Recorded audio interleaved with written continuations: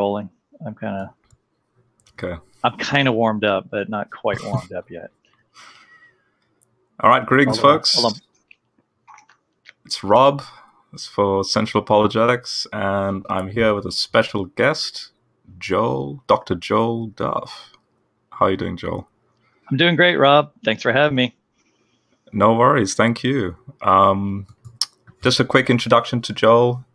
He's a professor of biology at the University of Akron. I got, hope I got that right. Yeah, that's good. He uh, he earned his BS in biology from Calvin College, a PhD in botany from the University of Tennessee. He focuses on understanding biological diversity by examining differences in DNA sequences and genome structure. You worked on numerous plant and animal systems, authored 40 plus research articles, and um, you're also an active writer and speaker. And in fact, I streamed your uh, 2019 ASA, you know, lecture on the the hyper evolution that's uh, technically part of the Young Earth model. And um, and my one of my favorite books actually from Biologos, which you happen to be contributed to, is the Grand Canyon, a monument in ancient Earth. Um, there we go. There's the book. So I had that on my shelf over there.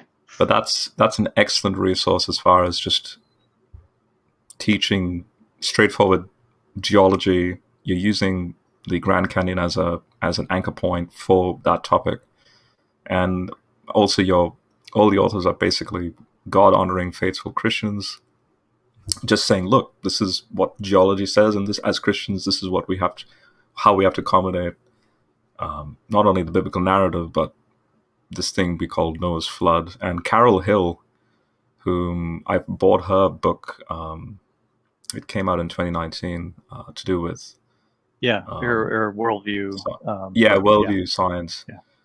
I just to give you a bit, bit of a brief context with that, I had a hunch. Again, when we were discussing John Walton and the ancient and scholars, I had a hunch that the flood was in the Persian Gulf. Back in the 90s, there were geologists. There's one particular geologist I remember reading, basically proposing, what if the flood is in this region, extensive region, and that the Eden location is where the four rivers meet there. And then I'm seeing this Grand Canyon book give a hint about that, and I'm just thinking, okay, something's going on here. Like, in other words, all of this, you know, the scholars in the field are in private having this discussion. And, uh, I I even interviewed Jeffrey Rose. I'm not su- sure if you're familiar with I, I'm not. Rose. No. he's a, he's an anthropologist who actually is working with early human migration from Africa into the Arabian Peninsula. Oh, okay. And one of his papers in 2010 that he published was called "The Persian Gulf Oasis," Hmm. um, and and I interviewed him twice now on this channel, and uh, you know discussing that topic. But but yeah, uh, so there we go. There's this is intro to Joel, and uh, thank you for coming on. And Nice. Make me sound Yeah. like I'm really busy. Um, Trust me, seeing your Yeah. oh, and plus you have a blog. The, his blog is linked in the in the description. Excellent blog. Um, just that, but with that blog alone, yeah, you're very busy. So but I'm happy to be here. This is this is uh, I, I I mean I relish the the chance to answer questions. Um, If- sweet. I Sweet. mean, I'm not promising I'm going to be the best. I'm not going to, you know, have the uh, all the answers you want to hear. Um, but it's always a good exercise uh, to be challenged with things that maybe you weren't expecting to hear. Mhm. Makes you wrestle with what you know and and find out what you don't know. I'll go back and then I'll write a blog post about it, to try to figure it out. right. Yeah. So speaking about blog posts, um, why the natural historian? Why? Why that? What's the origins behind that? And yeah. the origin behind that is originally originally I well I've always been a big fan of John Ray uh, from the 1600s, one of the considered one of the greatest English natural historians. So, natural historian refers to, or, or natural theologian, um, was anyone who really studied nature as a way of trying to understand God in the 1600s, 1700s. And so a natural historian, although today the, the connotation is somehow secular, uh, in, in, a way it was not so secular uh, at that time because you were trying to trying to appreciate the beauty of the world uh, through and, and understand you know what God has done uh, in His creation.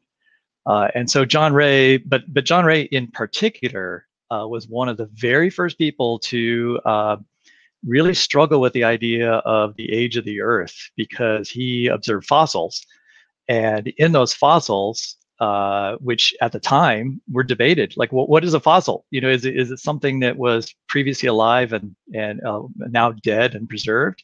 That wasn't the predominating idea, but he saw so many different forms of fossils that he speculated they must be things that were alive in the past. And now I think you, it doesn't take a lot of imagination to figure out that once you start to think that way, you start to wonder well, when were these organisms alive? You know, when were these mussel shells, uh, which are now on the side of a mountain, where could they have possibly been alive in the timeline in the in the chronology of the Bible? Because he was a he was a believer, and he he would have believed the the the, the simple, straightforward reading of okay, the Earth is a couple thousand years old, and he wondered how how it could fit in, and he really struggled really most of his life with that question because he it, it didn't fit. It just didn't fit. It seemed like it'd be a longer time. And by the way, that's that's sort of the that's the origination of young Earth creationism is just during just after his time because once he convinced others that fossils were really things that represented past live past life, everyone had to deal with the question, well, where where were these things and when did they exist? and young earth creationism with uh, woodward uh, uh, was one of the big proponents he said oh well there's this big flood thing right? You know there was this huge cataclysmic flood that covered the whole world and maybe that uprooted organisms and preserved them over time. So that that idea only goes back to that that point in time that the flood was a is such a chaotic event that it created the entire geological landscape of the earth. Uh, before that anyone talking about the flood would have just thought it was water rose up and covered some of the, the land, but didn't actually reshape the earth.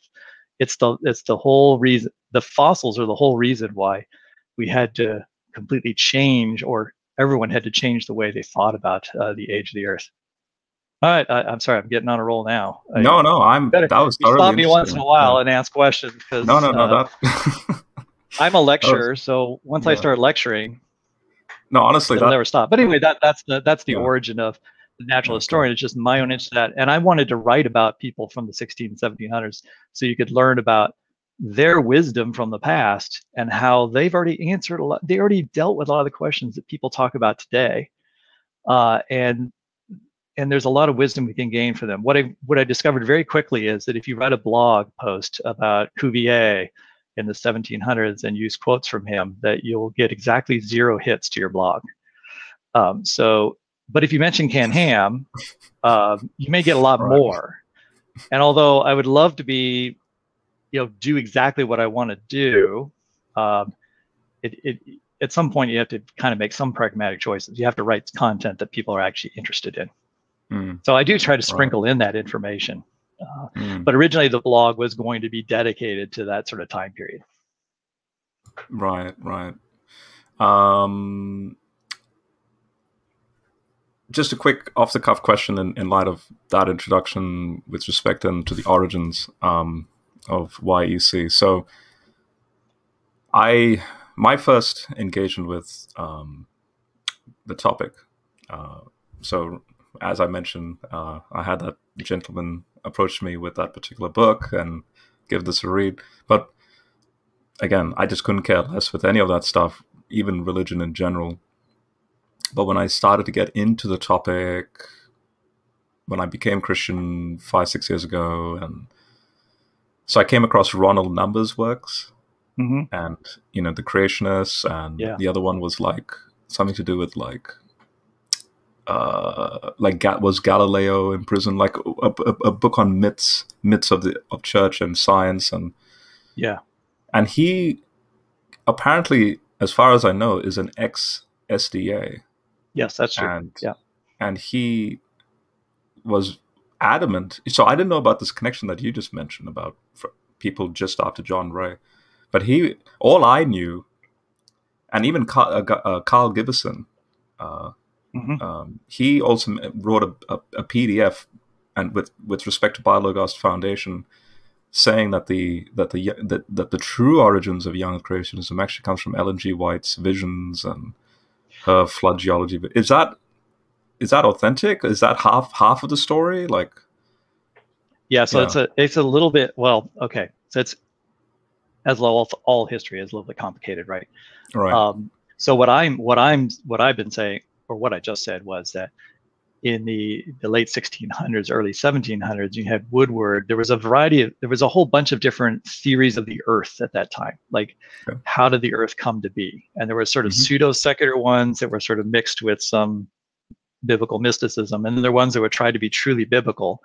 And Woodward was one of the first who suggested that the world was reshaped by a global flood and he would have had a strict timeline of you know 6000 years uh, for the earth and it's this giant flood happened 4000 years ago and then all the animals that are on the earth today come from noah's ark. So you could say that that that is the the origins of young earth creationism in the sense of their flood geology. Like that that's the nascent idea of flood geology the, the mechanism of how the world could be young and yet still support all this interesting geology and all the biology although he didn't really talk about biology much. So then when you're talking about Ellen White, uh, SDA from I, I, think late 1600, oh, sorry, late 1900s, early 20th century, um, she um, right there's there's all these visions and so forth, but there's a there's another author who of course escapes my mind right now who wrote. Uh, a book of geology. He was a geologist in the Seventh Day Adventist Church, who then wrote a much more detailed, like, here's how the geology of the world could have been reshaped by the flood. And that becomes the inspiration for Morris and Whitcomb, or Whitcomb and Morris in uh, 1953, or maybe it's 1957, 56, I can't remember. You mean George uh, Price? Yeah, Price, yes. Yep. Yeah. Yep. Right. So Price sort of takes the ideas of Ellen White, who who you know saw this idea that this world was young and had this chaotic flood, and mm-hmm. then makes it into a like a uh, you know something that seems like it's a scientifically plausible thing, mm. uh, and then that inspires Whitcomb and Morris, who then essentially recapitulate his book in the Genesis flood, which then brings it to the broader evangelical world. Um, mm. So I, I would connect young Earth creationism or the idea that the world is is young and the flood sculpted the earth back to the 16 1700s okay. but there was when you when you get up into the 1800s virtually everybody had abandoned that idea right? So so even uh, almost everyone was an old earth creationist. Now they were anti-evolution in the 1800s but they were totally accepting of an old earth at that point. Uh, even the scriptural geologists were not exactly like young earth creationists today and so it kind of got refired up then in the 20th century. Uh, and so in that way, you'd say like the modern version of young Earth creation does trace itself back to uh, Seventh Day Adventists. Right. So that's okay. the, that's the longer, but I'm sure there's even more complicated story. But that that at least gives you a little bit more background. Are you okay? Um, a little bit of a random maybe maybe this this this will be of interest to you, but in my research, growing up, uh, again with the Genesis studies and reading, say, the ancient uh, patristics like Basil the Great in the fourth yeah. century, and so this is Philip Schaff's translation in the 1800s of Basil the Great, and then he has a footnote on the footnote three. So Basil, I, again, I'm interested to, to see your reaction to this, but Basil was wrestling with when he was reading the Septuagint that says that the birds come forth from the waters, he was using language like, I wonder if there's a family link between the creatures that fly and swim. I wonder if, if there is a common derivation and if they are of one family. And then Basil, uh, sorry, uh, Philip Schaff quotes this French theologian, and his name is, hmm. oh boy, I, I, don't speak French, but uh, Jacques Bossuet. yeah, he's baby. he's in 1627 to 1704, a French bishop and theologian renowned for his sermons and other addresses. Um, anyway, well known. And in French, this is what he says. And apparently, according to Schaff, if you can read French, this is a similar conclusion he made. And then Philip Schaff throws this in because in in his day he's he's familiar with Haeckel and the mm-hmm. monophyletic pedigree and and it's just like, like exactly what you just said. And by the time that you reach the 1800s, everyone's sort of like old earth. And here's Philip Schaff, a church historian, throwing in. Oh, by the way, the current theory is that you have birds out of reptiles yeah. or influenced from fish, based on this early church father quote. Um, you know, going back to Genesis one verse twenty. But um, yeah, that's I just wanted to also show you. No, yeah. that, that's really fascinating. Yeah. And I, I, I, I, I said, like I was saying at the beginning, my my blog originally wanting to deal with things like this. Um, I, I, I don't think people understand that it's not like people didn't think 300 years ago. They thought yeah. deeply about these questions. Um, and it, it helps to see other people struggle with the same questions and, and actually mm. see hmm. they've come up with similar answers at times. Um, yeah, but the young Earth creationists often paint such a simple story that, that sort of like throughout history, everyone just looked at, opened their text and, oh, everything just happened in this many years. There was a flood, and then yeah. God created all these organisms separately, but now, well, separately, kind of. They're part of kinds and so forth. But um, mm-hmm. as if there's unanimity throughout history, and it's only recently, you know, after Darwin that we've become, you know, post enlightened and, and can no longer think for ourselves correctly. Mm, right. And Stephen Mo- Moshier? Uh, Moshier, yeah. Yeah. Mo- Moshier? I think that's how you In, pronounce it.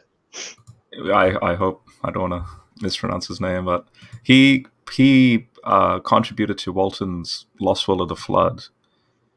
There's a particular right. point I found quite interesting that he made, which I didn't think about before, but in that he proposed that if you were to take the um, the the rate at which the waters, you know, go Receded. up and then go yeah. down, yeah. it wouldn't have changed the Earth at all. It's too slow. If you take the 150 days that it's going up and 150 days that it goes away, you take the size of the Earth, pretend it's global flood, and apparently it won't. It's so slow that it won't even move sand particles. If you just take the you know. Yeah, and then, then so you have to you'd have to invoke some ad hoc miraculous speed or you know change some basic right. uh, characteristic of how uh, providentially nature functions. It's kind of like the heat yeah. problem too. If if all the plates actually ran around really fast, uh, friction would generate so much heat it would have melted the Earth, you know, during that time. Mm-hmm. And so you mm-hmm. have to then posit that there was some sort of mechanism that drew away the heat um, and that might be a miraculous mechanism or maybe some mechanism that no longer functions today. Um, but mm-hmm. nonetheless, it's not a natural, uh, it's not something you would naturally infer from what we can understand about the Earth today. Uh, you have to you have to add that in mm-hmm. um, to your explanation. Now, granted, if the young Earth creationists are right and and the scriptures do describe exactly their interp- if their interpretation is correct, um, and then, so then, yes, maybe there were all these things that happened, um, but that requires a. It's not necessary. I'll, I'll just say. Well, but but he's making. It's not necessary to go that, to that point.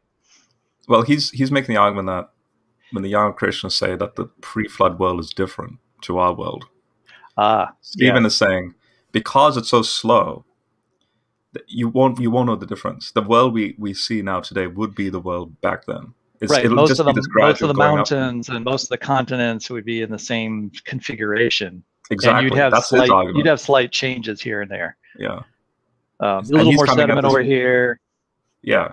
Yeah. He's coming at this purely from that physical physics context where just by the granulation of sand particles with respect yeah. to the flow rates, thermo, you know, uh, fluid mechanics and all that. Like, I found that quite an interesting argument he made. Um, um, so, so then there's technically then no evidence for a global flood, even if you go down that trajectory, right? It's yeah. just, uh,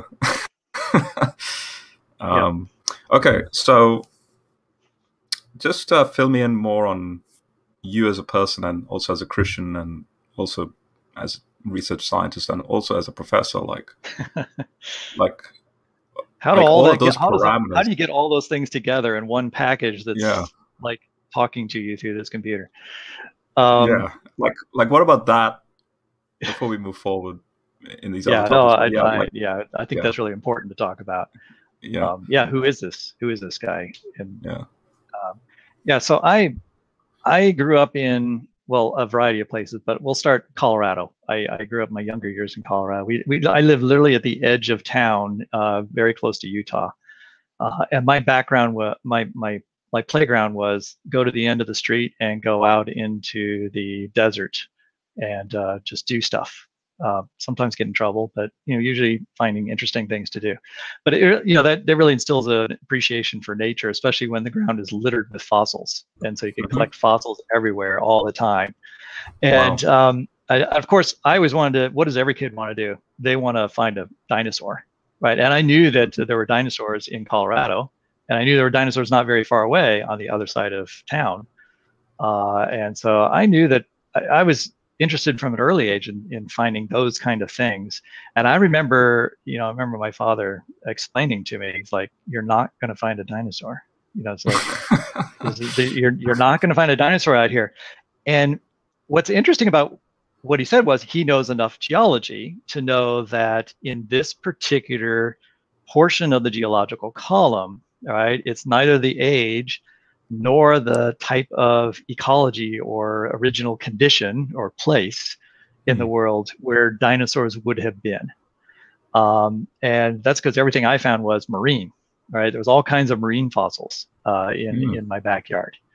Uh, whereas the other side of town was uh, a different layer of sediment that was laid down at a different time when there was you know, the, the ocean levels were lower, and so it was land at the time. And what you found was dinosaur fossils, and you found plant fossils, right? You mm. you found a hmm. community of organisms. You didn't just find scattered stuff. You found you found something that made sense in terms of like an ecology from the past. Mm-hmm. Um, so you know, so I was like, well, all right, but I think what else would make what else what let's see. The other thing that makes what he said interesting is my father's a, a pastor Mm-hmm. Um, he grew up in the church. He had uh, two parents, one of which was a, uh, a pastor as well. The other one was an ordained minister who was a uh, missionary to Ethiopia um, with the Orthodox Presbyterian Church here in the United States. And uh, my father was born on the mission field, right? His, his whole life is dedicated to the church. Um, and so, but he had a huge appreciation for the natural world, for God's creation. I mean, we loved living in Colorado and exploring the world. And um, he he was aware of these topics of young Earth creationism and so forth. And I I don't think I really knew that when I was young, right? That that there were people in the church who I'm sure asked questions, these types of questions and so forth. And so he was had to contend with that. But he left me with that like no, there's not going to be dinosaurs there because we know this much about Earth's history, and it's very unlikely you're going to find a dinosaur fossil there. So I went from there to Calvin College in Grand Rapids, Michigan, which is a um, a, a, religious school, and um, there I didn't really ex- I didn't really have to deal with the age of the Earth question, just like I had most of my life. And I wasn't really familiar with young Earth creationism. And it wasn't until I went to graduate school when I was at University of Tennessee, and I'm I'm in a situation where I'm at a, I'm at a church that is fairly conservative and orthodox, and uh, they clearly didn't believe the Earth was old and were very anti-evolution and uh, the whole the whole thing there. And then I have people at you know at at the university are like you know well you're going to this church and what's that about? How can you believe that and do this? So really caught between two worlds right? Two two different like pressures all the time and I did have somebody from that church who who then took it upon themselves to, uh, I guess, save me or give me some kind of comfort or like help me get through this difficult time of getting my PhD. Like, I just feel like I'm gonna somehow, like, just like try to get through this. And uh, they handed me uh, Whitcomb and Morris's The Genesis Flood. They're like, you know, here's this great book, you know, that that I have that has really helped me understand the way the world really is and the history of the world. Uh, and so this could this could be really beneficial to you. So they handed that to me, and when I started to read that, I realized, wow, I didn't really know that this was I mean, I I'd heard of it, but I didn't really understand the depth of of what they were saying. And I also realized I didn't know how to answer those types of responses. And so that's what sort of kicked me into gear in terms of like, I need to have answers to these things, or I need to actually know what I believe as well. You know, and do I really even know what I believe? How do I answer these questions for myself? And so that stimulated me to, I mean, I spent several years really probably in mostly personal um, uh, investigations and reading everything I could and all kinds of books to try to sort out those topics before I started to dip my toe into email digest. I'm I'm old, so that was back in the in the early 90s. Uh, and then going to graduate school and getting more involved uh, in discussions in church and then and having more engagement uh, over time. Yeah, I'll stop there though. Let's so that's that's a little bit about me. So yeah, I should say I should say I'm mm. still I'm still I come through that whole process though still a very devoted Christian, right? I I don't feel like there was any day along the way in which I was like, oh, I, I don't know about all this. You know, I, I, I question everything I ever knew. I, I do attribute that to my father because he, I think, I think he he he set me on a, a on a way of trying to find out things for myself uh, give me a good grounding in hermeneutics and understanding scripture and not just feeding us like you have to believe this. And then going to college and being learning more and then but then really being uh, once i finally hit the world right? And the world is like why do you believe this? And then other people like in the church are like well why do you believe that? I didn't just like pick one or the other um, i found that hey I, I understand i'm on board with you theologically and i understand your concerns uh, I think you're misguided on this particular topic. Um, but part of that's, you know, you've been fed all this information. Um, but I can still, I still believe the core. I have these convictions that we share. And then scientists like, yeah, I understand what you're saying, and I know what your criticisms of the church are, but you also criticize them for for things that I think that they're ignorant on and not truly the core of what makes uh, makes the Christian faith what the Christian faith is. You're you're, you're attacking the add-ons, right? That aren't the essentials um, of the faith. And so for me, that journey was fairly seamless. And I know it isn't for everybody, but that also means that that's what I want to, you know, that's why I do what I do and why I try to help others who I think probably have only learned young earth creationism all their life and they've been told this is evil, this is good, if you have any doubt at all about this, then there's only one direction you can go, and that is you have to go to complete atheism. Um, and that's obviously I don't believe that's true, um, but I see it. I see it mm. all hmm. the time. That sounds remarkably similar to my journey in a in in a weird inverted way, uh, because I didn't have that that I guess the upbringing you had. My upbringing, again, when I say it, it, it's similar but different. So my upbringing, I I wasn't brought up in a young earth household. I didn't have I didn't have my father wasn't a, you know a pastor. Like it was just a sort of a given, more like a cultural Christian practice. You know, we go to church, we we, we you know reverence to the Bible, reverence to God don't have time to deep about uh, to think about deep theological scientific issues you know just get along get get on with your life do what you need to do. That was my so, or maybe yeah. a social club? This is a this is a good social experience. Uh yes and but uh, again even more than that a little bit. In in other words it's a, it's a, it was a genuine so my folks and in fact my entire heritage is like a genuine for example, because it's it's high Anglican experiences I've been through. So I was born in India, and there's a lot of chaos, superstition, and all sorts. I remember I left India when I was nine. I remember people possessed coming mm. into the church demanding help and but it's it's not like people get freaked out it's just a given it's like mm. oh here we go again um, and so my folks, they would bend the knee. For example, you know, those little stools, you'd, you'd bend the knee, say a prayer. Like that's sort of the social club, but at the same time, reverential approach. Uh, you honor the pastor. So the so the pastor would actually stand by the door making sure that everyone who walks out, their hands are, you know, shaking their hands. Like, it's yeah, it's just one. It's just it's just totally different compared to when I came here uh, to Australia, and it's so sterile. It's you know, churches people just dress in regular clothes. Even the pastor just dress, you know, dresses in the regular clothes, and you know. But again, I'm not saying we should all become monks and go back into that very traditional, you know. But it's different, you know. And so, if I were to muck up in in a personal issue, and if my folks found out about it, obviously that you know I'd get a rap and be like, no, that was wrong. Learn from that you know learn from these mistakes. But as far as thinking goes um, so the reason why i i i found a, like a kindred spirit with not only say recently say the works that you've written but also with say walton heiser ross like all of these guys is because my uh, folks taught me so so heiser uh, famously uh, is known for saying, The world is stranger than you think, but thinking should not be strange. And that statement alone, by definition, is my upbringing, where I've been, I was told to just go for it. You know, even if even if the ideas are really weird, but don't hook, line, and sinker. Just believe it. Um, so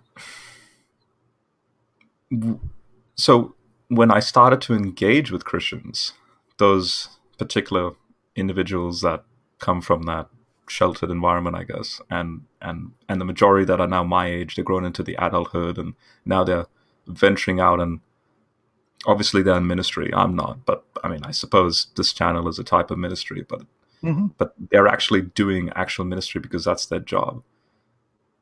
It's like even to this day, I'm perceived as, as some form of threat because, oh, you know, there's Rob. He's like not one of us, uh, you know, in, in the youngest fold or, or something like that. Um, I mean, I'm not saying all my my relationships are like that, but there's a lot of Christians I know, Christian friends that even even the, the local church that I wrote that Revelation study for, they they're let's just say they and here's another ir- irony. Because they didn't have that americanized westernish upbringing which is that young earth's experience because again majority of them are asian. Mm-hmm. They're much more open-minded because you know they've been brought up to think rationally in, in, a, in a rigid scientific framework and whatever. But obviously it's like feed me. They're hungry. They're thirsty for well how do you combine biblical theology with the cutting edge cutting edge stuff of science? And and so then I suppose that's why I'm able to I mean it's not the only reason but that's one of the reasons why I was very comfortably able to sort of fit into those areas in Christendom with folks like them uh, uh, where you know you, you, can actually have a dialogue a conversation. So yeah, it, it in a nutshell, it I can sort of sense when when you're explaining the journey to me, I can sort of sense a, a very subtle melancholy in your voice, maybe, but I can relate with that because I get saddened and depressed deep down. I suppress it, but when there are people and I kid you not, I've even been told this by, by one particular individual that, you know, you're in sin if you believe in evolution. You know, that's pretty harsh uh, what do you do with that? Um, I recently interviewed Ben Stanhope, yeah. the guy who wrote Mis- Misinterpreting Genesis. And I also interviewed uh, Inspiring Philosophy when he released that um, 10 Reasons, the Young Earth Creationist video. Yeah. And so right. with both videos, I uh, trolled them by saying, hey, how dare you disagree with a watermelon eating T-Rex like in this graphic, which which is the sort of thing I, I saw when I was coming into this. And yeah, yeah. I, I just anyway, but your journey and my journey kind of jives a little bit. That's why I I reached out to you because I I uh, binged your your blogs, your blog posts, and I think that particular lecture you gave at the ASA was that was it really. You you were not only were you establishing um, that you have to I mean, you being the young creationist, you have to acknowledge that this is technically part of your model, and you and you don't realize it. Uh, and um, uh, and then the evolution of the creationist model over time, and especially with that table you you wrote up, like yeah. from the '90s, their propositions back then versus up until 2017, there was a some studies you were showing. So um, yeah, just so just so yeah. others who might wonder yeah. what we're talking about, um, I was in particular talking about their views of speciation or where does biological mm-hmm. diversity come from, and uh, just in a just a really brief nutshell. I mean, you you can Go probably imagine, or some of you probably have met people that believe that God just made every individual species just exactly the way we see them today, uh, and that would have been a prevailing view if you'd gone back hundreds of years. And then it becomes apparent that um, there's an awful lot of species, especially when you start figuring in the fossil record. It's like, well, how would you fit all the millions of different species on Earth into one short time frame? Currently, 8.6 is it 8.6 million eukaryote eukaryotic species oh, or something? Like, yeah, so, yeah, yeah. But even if you just stick to mm. to larger macro uh, organisms and the fossil record, that's an awful lot of organisms, and uh, so you have to fit those on the ark somehow, at least the land vertebrates. Because and the so when, when younger, show it has to be a lot anyway. That the fact yeah. that we have so much, yeah, yeah, mm-hmm. and, in that in that way, young Earth creationists do accept certain facts that are observations. I mean, this is a, we accept observed observation science, right? We, we go out in the world, we we agree there are a lot of fossils and there's a lot of different organisms that are extinct uh, all of those had to be somehow preserved and had to have originated or come from somewhere at some point. And so that's what everybody's trying to explain, right? I mean, anyone who has any inkling of an interest in why the world is the way it is has to ask themselves, why is there the diversity there is today, and why was there different diversity in the past? Evolutionary biology is just one is one theory to provide a mechanism or an explanation for how life could have changed over time. And young Earth creationists have another one, uh, but it, but even that model is constantly shifting and changing. And so that's kind of what my talk was about: is that young Earth creationists have come a long way from from sort of adding more and more and more elements of evolutionary theory to their model. Um, they won't call it evolution because they'll very strictly define evolution as just being, well, evolution is molecules to man or it's like massive changes over time into completely different types of organisms i would say well okay that is part of evolutionary theory but evolution in terms of change and how it occurs in the world and how organisms adapt is is really um, a, an explanation for how speciation happens. And young Earth creationists now accept that speciation occurs and has occurred uh, over time. And so that's a change in in in their their thinking uh, over time. And so they're they're they're adding more and more elements of evolutionary I'm not making any kind of I'm not saying that they're eventually going to become evolutionary biologists by any means, like full full scale, like evolution explains all the the origin of life all the way up to what we have today. But I'm saying that everybody actually does believe some component of evolutionary biology. In other words, everyone accepts some amount of evolution and everybody kind of has to ask the question themselves like how much do i accept? And creationists are still trying to work that out. So i should say young earth creationists because i consider myself a yeah. creationist so I, I, have to be careful there. Yeah i, I don't want to use the label creationist just for young earth creationists. Yeah. So i'll okay. I'm gonna share with you I guess my creationist model, and I'm interested to hear what you have to say. So wow, this is great. Yeah, um, all these models. Um, so I'm speaking now with with with my latest understanding, and I guess my the latest in my maturity, my growth in in in wrestling with the Genesis text and scholarship and all that stuff. Um, I have to agree that all organizations, uh, except those who are purely the, the, the specialists with respect to the ancientaries and linguists and all that, all organizations are concordist, and mm-hmm. it's and and and and and as you've just briefly explained, you have a, I guess, the emergence of these concordist approaches relatively recently as well, say within 300 years. Um, but as I also showed, you have concordus of even back in the early church, like Basil wrestling with the text, but it's not like a, it's not like a, a concordist model that they came up with. It's just back then Christians were more interested in the theology, and if they came across something weird like you know birds and fish, they they they would sort of leave a comment, like you saw Basil leave a comment, but they didn't make this make it a wholesale you know, let's make it a creation museum sort of thing. And you know, no, no, yeah. Um, so that being it's said, a, it's a sideshow to the, mm-hmm. the important topic. right.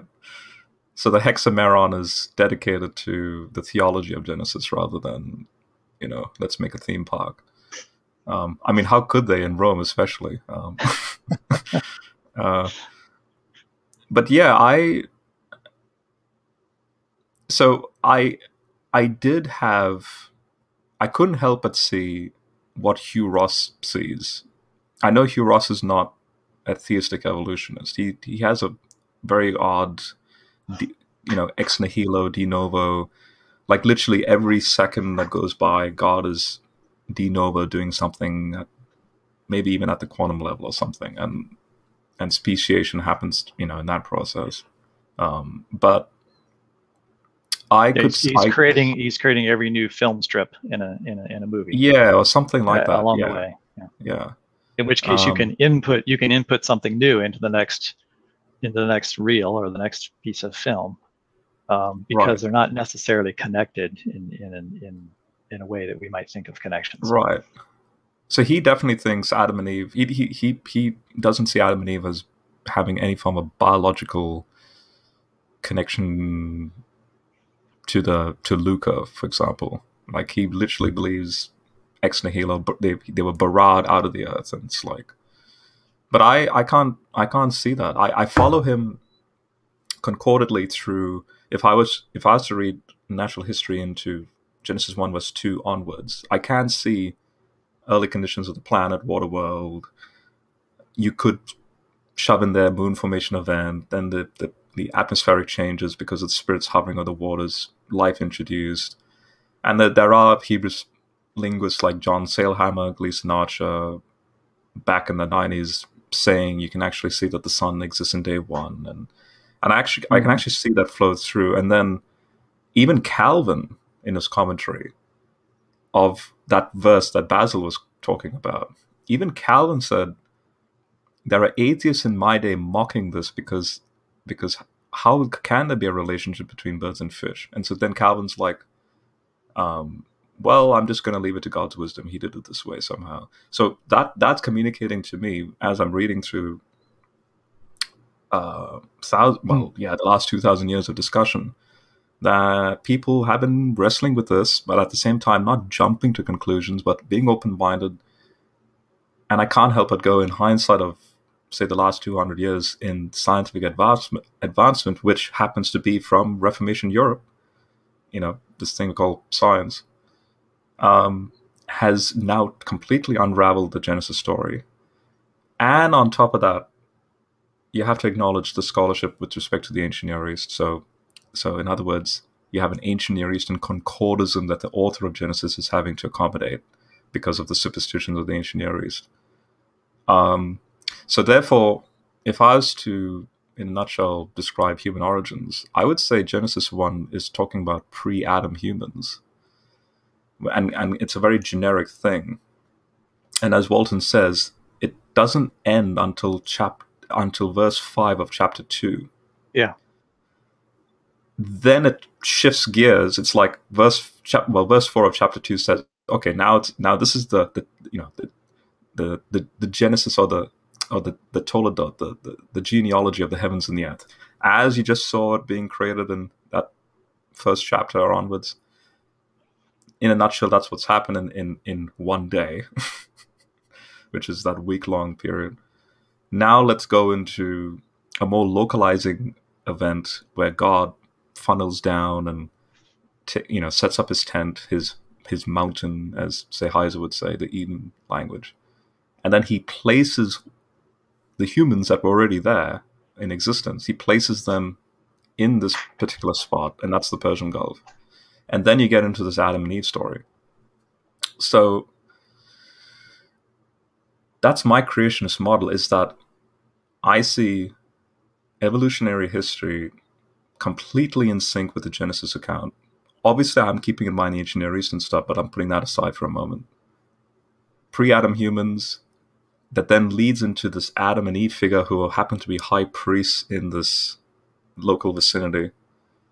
And then the rest of the Genesis story is always the drama of Genesis 2 to 11 is always in this region in the Persian Gulf. Tower of Babel is in this region. Noah's flood is in this region because guess what? The ark still lands in Urartu area, which is that mm-hmm. Arad area. Mm-hmm. Um, the Genesis 6, 1 to 4 weird Nephilim thing going on. Heiser will bring out the Apkallu myth, and again, it's all within that region.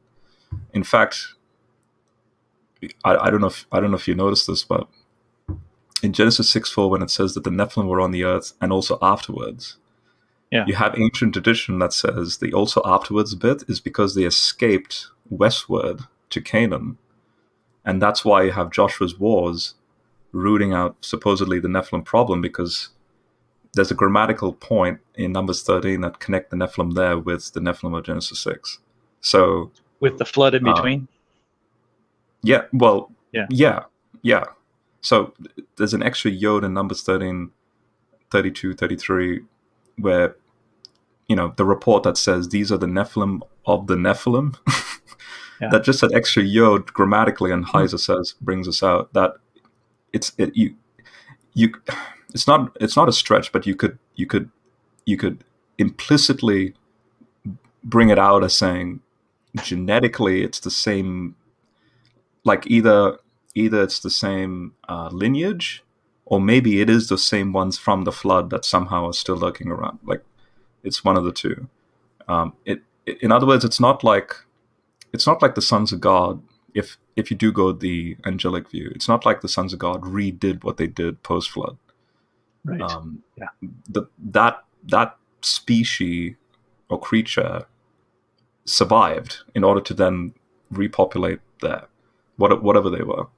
So all of this made a lot of sense to me. And then I'm coming across Hugh Ross, Navigating Genesis, he wrote.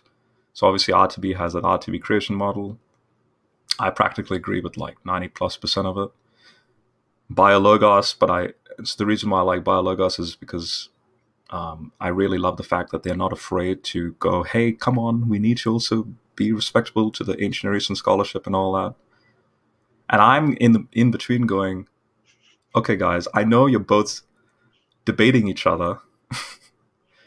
it's actually both of you. You're both you're both so so both of you are the same sides of the same like you're both you know, one of you is one side of the coin, the other is the other side of the coin, but you're both the same coin. Like, so I'm in between going, come on, there's a synthesis here.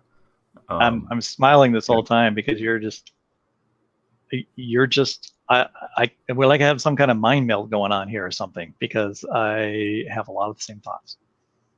Okay. A, lot of the same thoughts. So I think we got to explore this a little bit because I think there's some mm-hmm. questions. Yep. Um, that arise. Uh, so, so Adam is, or man is formed, all right, in Genesis one. Mm-hmm. Adam is placed in the garden, right? He's not. He's not created in the garden. But but Adam is not even named. So Adam just means human. Yes, right, right. Humans so plural. Man is yeah. man is created. Adam is placed in the garden. Mm-hmm. Um, well, you're saying so hu- Genesis I'm one doesn't. So Genesis one doesn't say Adam. It's what you're saying. No, right? so so Adam Adam is in Genesis. The word Adam is in Genesis one. How I know Adam oh, yeah. is human generically. That if you go to the King James, the King James does a subtle transparent remark, which a lot of people don't know in, in the modern translations. So Genesis 5, verse 2 says, in the King James, it says, male and female are called Adam with the capital A, in King James translation. Hmm. So if you take Adam with a capital A as being a personal name, hang on, a, a woman called Adam? but that's the point. Like, like I know the King James translator was transliterating the Hebrew, but that's what's so ironic is that both man and woman are called Adam, but then that word becomes applied to a particular individual. You know, might as well call him Adam. Yeah, right. Whereas, yeah, we know those are not the original names of these people because this is a Hebrew text using Hebrew words and idioms. Like Noah just means comfort. Mm-hmm. But in the Enuma Elish and all that, it's you know Utnapishtim or something. That's his name in, in that figure. But we know there's a relationship there. The Sumerian king list has a direct correlation with Genesis five. Um, so I'm, what I'm saying is, you have humans of Genesis one, and I, I suppose the, the again I, I I'm I'm not familiar with this, but I know Dennis Venema and a few others mm-hmm. say that there's like a you can go as low as ten thousand individuals or something with with the population of humans. Yeah, they're using a genetic argument and saying that uh, based on the the amount of genetic diversity, mm-hmm. that you wouldn't have a bottleneck down to two. Is there exactly what they're saying? And so and so mm-hmm. the, the the smallest population effective population size that you would have had in the past in order to project the current variation we have in the population is mm-hmm. something around 10,000. And then there's the question of how long ago that was. Um, mm, so mm. those are those are the two those are two really big issues, right? Um, how mm-hmm. long ago was that constriction, and also, um, you know, how constricted was the constriction? You know, mm, is, is, everyone related to a single Adam and Eve? And then you have Swamidass, who is, you know, we're all related because of our genealogy. The genealogical Adam and Eve. All right. Thing, yeah. Uh, yeah. So that's yeah. it. That's it. That's trying to acknowledge that there is a um, there's no population that's limited to two individuals, um, but nonetheless, everybody's related to two individuals. Hmm. And Swamidass actually is that that very niche, like a little sidestep approach with respect to those two individuals, right? You know, Adam and yeah. Eve. Uh, yeah. But um, it's trying it's trying to carve out a little mm-hmm. room for a a more literal reading uh, combined yeah. with you know this nuanced genetic approach. Right, right. So all I'm saying is, look, uh, are you familiar with Joshua Moritz? Uh, Josh? I know the name. I'm not sure that I've I've read a lot of his material. Yeah. So he actually he he did this for Berkeley. He he he he spent like 48 hours, like 17 lectures on natural history and and.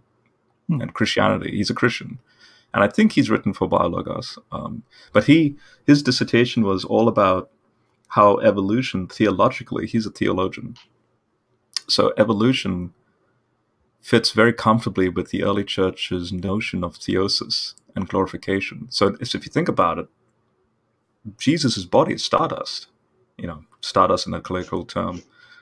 And so then in that hypostasis, it's the divine logos in hypostasis with the cosmos.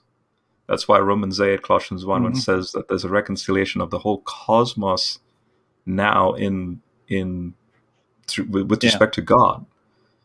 Uh, well, yeah, and we're all interconnected in that sense, and so evolution is the mechanism for for that ultimate reconciliation happen. And so then Moritz, in his dissertation, argues.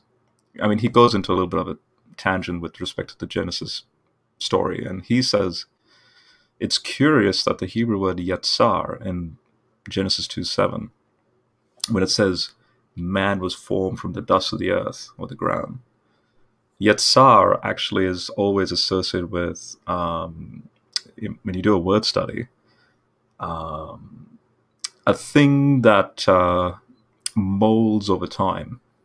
So, like, like when a potter is with its clay and forming a vase, the word uses yatsar, or like you know, you know, a seed, like some some. I think it's in Isaiah, like when it says a seed sprouts or forms into like a plant, or like like in the psalm that says you know you formed my you formed me at the depths of the earth that poetic language it's all that word yetzar is used and we know there's an evolutionary process from one thing to the next is there is that a difference um, between that and the word knit do you know in the in hebrew i'm not no like i'm not particularly knit me in my mother's womb type of concept it but it's in it's in that passage though it could be that. It could be that word. Yeah. But the underlying Hebrew word is communicating you were you were this initially and then you become this. But then it's not it's not like a it's not like a switch. Like you you're this and then instantly you're that. It's it it becomes this. So the dust of the earth becomes a living soul. And he's saying, look, it's just a generic statement that it's a reminder that, you know, God formed man, Yetzar. And then there's this language of placing him. So then it's describing man as being part of the creation. And then he quotes mm-hmm. patristic writers that say, well, like Augustine actually says this, there's a potency in creation to generate um in, in evolution but, speak, it's it's this like what we call speciation well, and, and you know yeah. yeah. i mean it's the natural drive to reproduce but mm. reproduction is to make more of oneself but it's it's to create more of your kind right mm-hmm. creating more of your kind is to say that you you need to fill and um, fulfill your purpose i guess as well yeah in mm-hmm. the world I will. right. So you're back. You're back to mm-hmm. all right. So man is placed in a place yeah. and given a task. Um, yeah. Then and and so then yeah then I go down the high priest language. Uh, Heiser's work goes into the whole mount. You have mountain language. Garden of Eden is is described as God's holy mountain. Then you have that peculiar rebellion in Genesis 3, Then the Nakash figure, he goes down the trajectory. It's this shining entity, not like a like some sort of serpent. I mean, it, it the word is serpent, but as an adjective, it's the quality of it is some other thing. Mm-hmm. He connects it to Isaiah 14, Ezekiel 28, those passages, and then you have a. In other words, when I, when I'm looking at all this stuff and and the stuff that Heiser brings out in light of the scholarship, I can't help but see that humans are basically in the firing in it they are in the they're in the way. so they so you have God, creation, his council. Think of it like Odin, Thor, and Loki. Loki is that is that Nakash figure, and then Earth is just this obscure place that has nothing associated with As- Asgard, right? Is it Asgard? Is yeah, is, yeah, right. Yeah, right. And but Loki decides to do what he does in Avengers. For some reason, Earth Earth yeah. is so insignificant, but he just comes and does what he does, right? He's the, he's the chaos figure, yeah. Yeah, and um, so we're in the we're in the crossfire, and then the and then the the amazing thing is this is the gospel coming in. But the amazing thing about the gospel is even though we're in the crossfire, just like Odin later on in the Marvel movies, when you have Odin coming to Earth and telling Thor, "Hey, look, let's let's actually marry Earth and Asgard together." It's like that's exactly the, the Bible story. You have God who's and Psalm eight says this: "What is man that you take notice of him?" And then Hebrews two quotes that Psalm and saying, "Yeah, well, then Jesus decided to become lower than than divine in order to then cause that theosis thing." And it's like wow, we're all, you know, the Adam and Eve scenario is nothing but we're just servants before our Creator. But little did they know, and little do we know, even in the Genesis narrative, that the ultimate decision God actually has is technically like Odin's perspective, like let's marry, have a marriage of these two realms. And um, even though there's the drama in between, um, and so yeah, I can't help but think of coming to the creation context. I can't help but think of humans with a more or less large population because Genesis four makes a lot of sense in light of that. Like Cain building a city, you know, there's a mark on his forehead. um, because ooh, you know what what if they find me and um, so so I, Yeah. I I really like the the big ideas and the big concept, and I I I also subscribe to sort of the the temple framework and so forth, and Mhm. this this big idea of the cosmos and God's creation. Um, but to ground that into um, something about uh, so what what's the original function? So if if man is kind of in the way because he's he's really thwarting that plan, and only through Christ can we now find that we're. Oh, I wouldn't say he's in the way in a negative What- way. I, I Okay, wouldn't, I wouldn't right, say. right. Yeah, I'm, I'm, I'm just saying, just like, just like in that analogy of Thor, Loki, and Odin, Earth is just getting along, doing its thing, and then the bully comes and then starts, to, you know, messing around with it a little bit. Like it's sort of like that. Um, you know, it's it's sort of like there's a little bit of an innocence involved, and then because there's an innocence involved, let's come and let's come and uh, corrupt it. Yeah. you know, and that and that shows real. I mean, if you think about it, that that predatory engagement to try and corrupt something that's innocent, that's genuine evil in that sense. And um, yeah, and uh, and then and then suddenly it's, it seems to then because of what happens then according to the biblical story it seems to then only funnel in and focal, focal, focus itself in on just happening here like the whole battle itself happens to just be then here according to the biblical narrative um, So so the the Mm. in the garden in this case, it, does that represent to you and the ideal? Like like um, this is what God would have wanted the world to become. This was His original plan for making the world and sculpting the world, even though the rest of the world is in pseudo chaos or like has been hmm, evolved over time and there are these natural chaotic factors which which create this best world possible under those conditions. Mhm, then you have you have man the focal something that has come out of his creation that's going to have a the capacity to have a an actual personal relationship with his creator.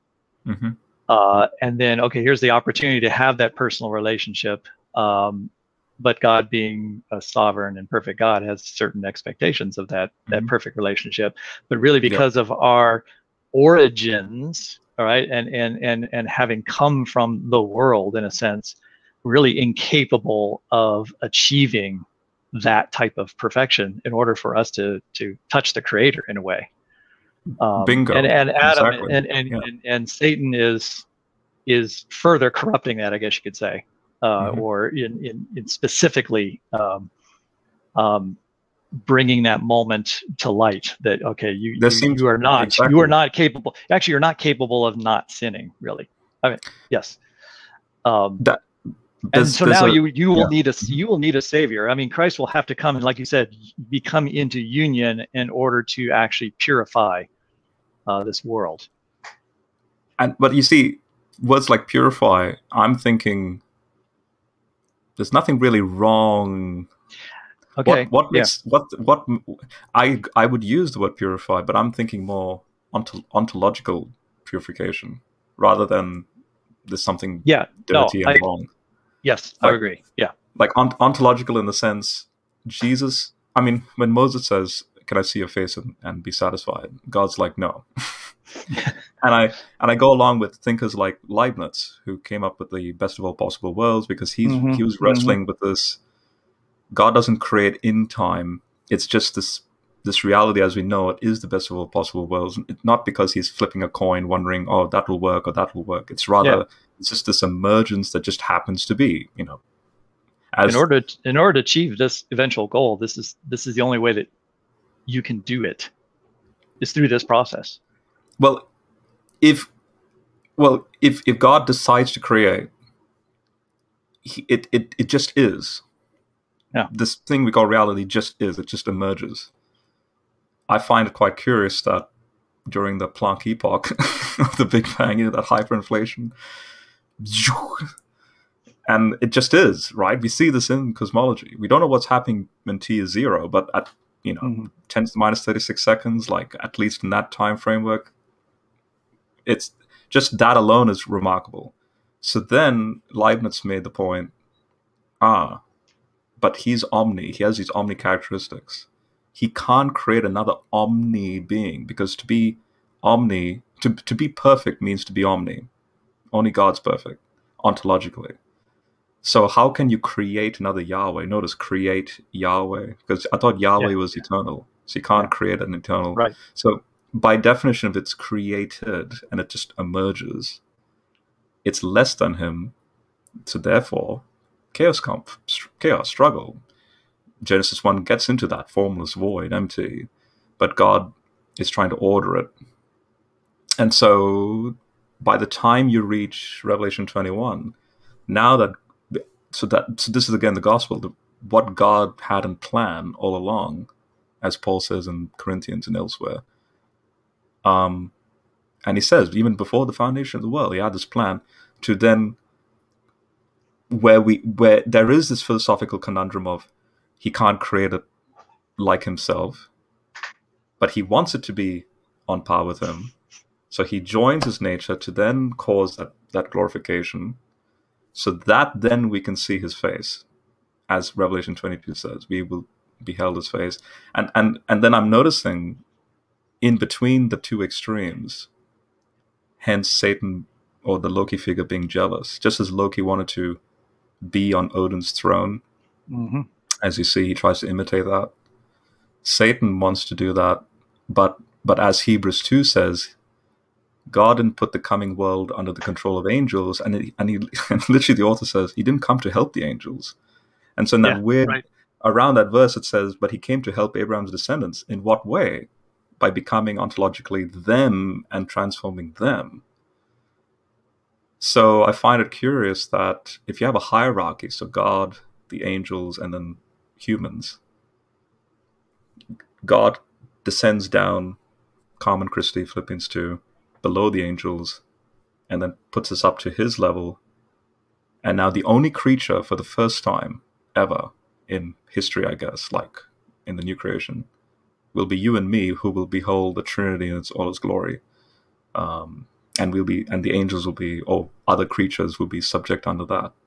Like that's the big picture that kind of blew my mind. And then evolution as a mechanism, or just just the just the the ontological function of the universe as a whole, just the laws of nature as a, as a general whole that bring and evolution is part of that function biologically. But that that whole thing is is purposely designed to be that way in order for that mechanism to happen the way it does in Jesus. Um, and then obviously that goes down other trajectories that I've thought about, like what about ET? You know, uh, uh, is you know, uh, like if They're, ET they're all around us right now, right? I, I keep getting told every day now that they're just everywhere. Right. Like I know Hugh Ross says there's no ET life anywhere according to his musings in astronomy, and uh, you know the laws of nature doesn't really. And that, but that, that's again we don't really know, but I can also I don't- I don't- accommodate for ET. Yeah, I don't really care for the scientific arguments against it. Yeah. I, you know, sort of like, uh, I'm, yeah, I'm just not convinced Mhm. by that. Um, and I don't have a problem if there is, and I don't have a problem if there isn't. Hmm. And so, therefore, every event that we see younger creationists and older creationists wrestle with with respect to natural history, hmm notice notice that the younger creationists this this this is what communicates to me how empty their concordism or their theology is. Yeah. Putting aside the science stuff, I'm thinking more big picture stuff like Heiser's work in this sense. Their perspective is Genesis three fall. We, as Ken Ham says, we introduce Yeah. cancer into the fossil record and blah blah blah blah blah death. And then yeah, we're we're next- responsible for absolutely transforming this world in every every aspect. And then the the god of this universe has an OCD to try and fix our slip up with Yes, an apple Yeah. yep.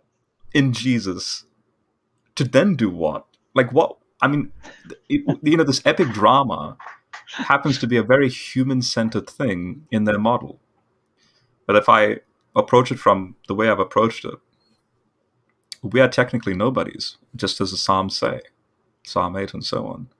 Uh, even Job is full of that. Mm-hmm. It, Job's predicament is because of a discussion upstairs. He's he's nothing. He's worthless, and he understands that himself. Um, I mean, worthless in the sense of when you real like Sagan's pale blue dot, like that perspective. Um, and uh, and and so therefore, if there's vast ages of time taking place, not just six thousand years, but a long period of time, and then you're seeing the drama in the biblical story as not being human centered, but but and and again using Heiser's work, a more divine drama of the gods and God and humans are just again in the crossfire the whole time but god again showing like love towards this particular creature which is the human um, and bringing about like nurturing them out because they slip up because guess what? They're being inspired by the demonic I, I suppose you could say that the demonic ideas of these other gods. Like and then when jesus comes on the scene again that very nurturing attitude. Like you can see him God in the flesh, sort of like a father figure working with it. Like that to me just blows my mind that all of this stuff is vitally missing. You, you won't see this in, in the Creation Museum or Ken Ham's Ark Encounter. And, uh, like, for example, Heiser will say, and the Second Temple scholars will say, there's actually three falls, not one.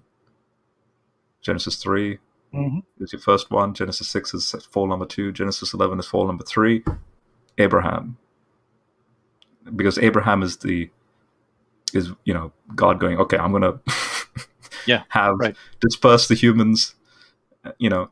And then Acts 2 is a reversal of that Babel dispersion because all the nations come back, hear the message. Like, where do you see this in young earth literature? You, you won't find it.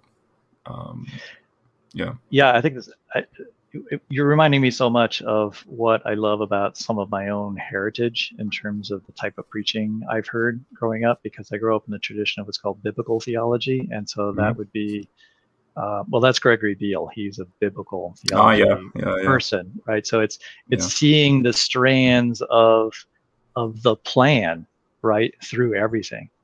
And so mm-hmm. it, it, the preaching must include it's it's not simply here's this passage what does it mean to me today right now it's here's this passage, but it has to be connected to the whole trajectory of the scriptures and what what is the mm-hmm. entire message.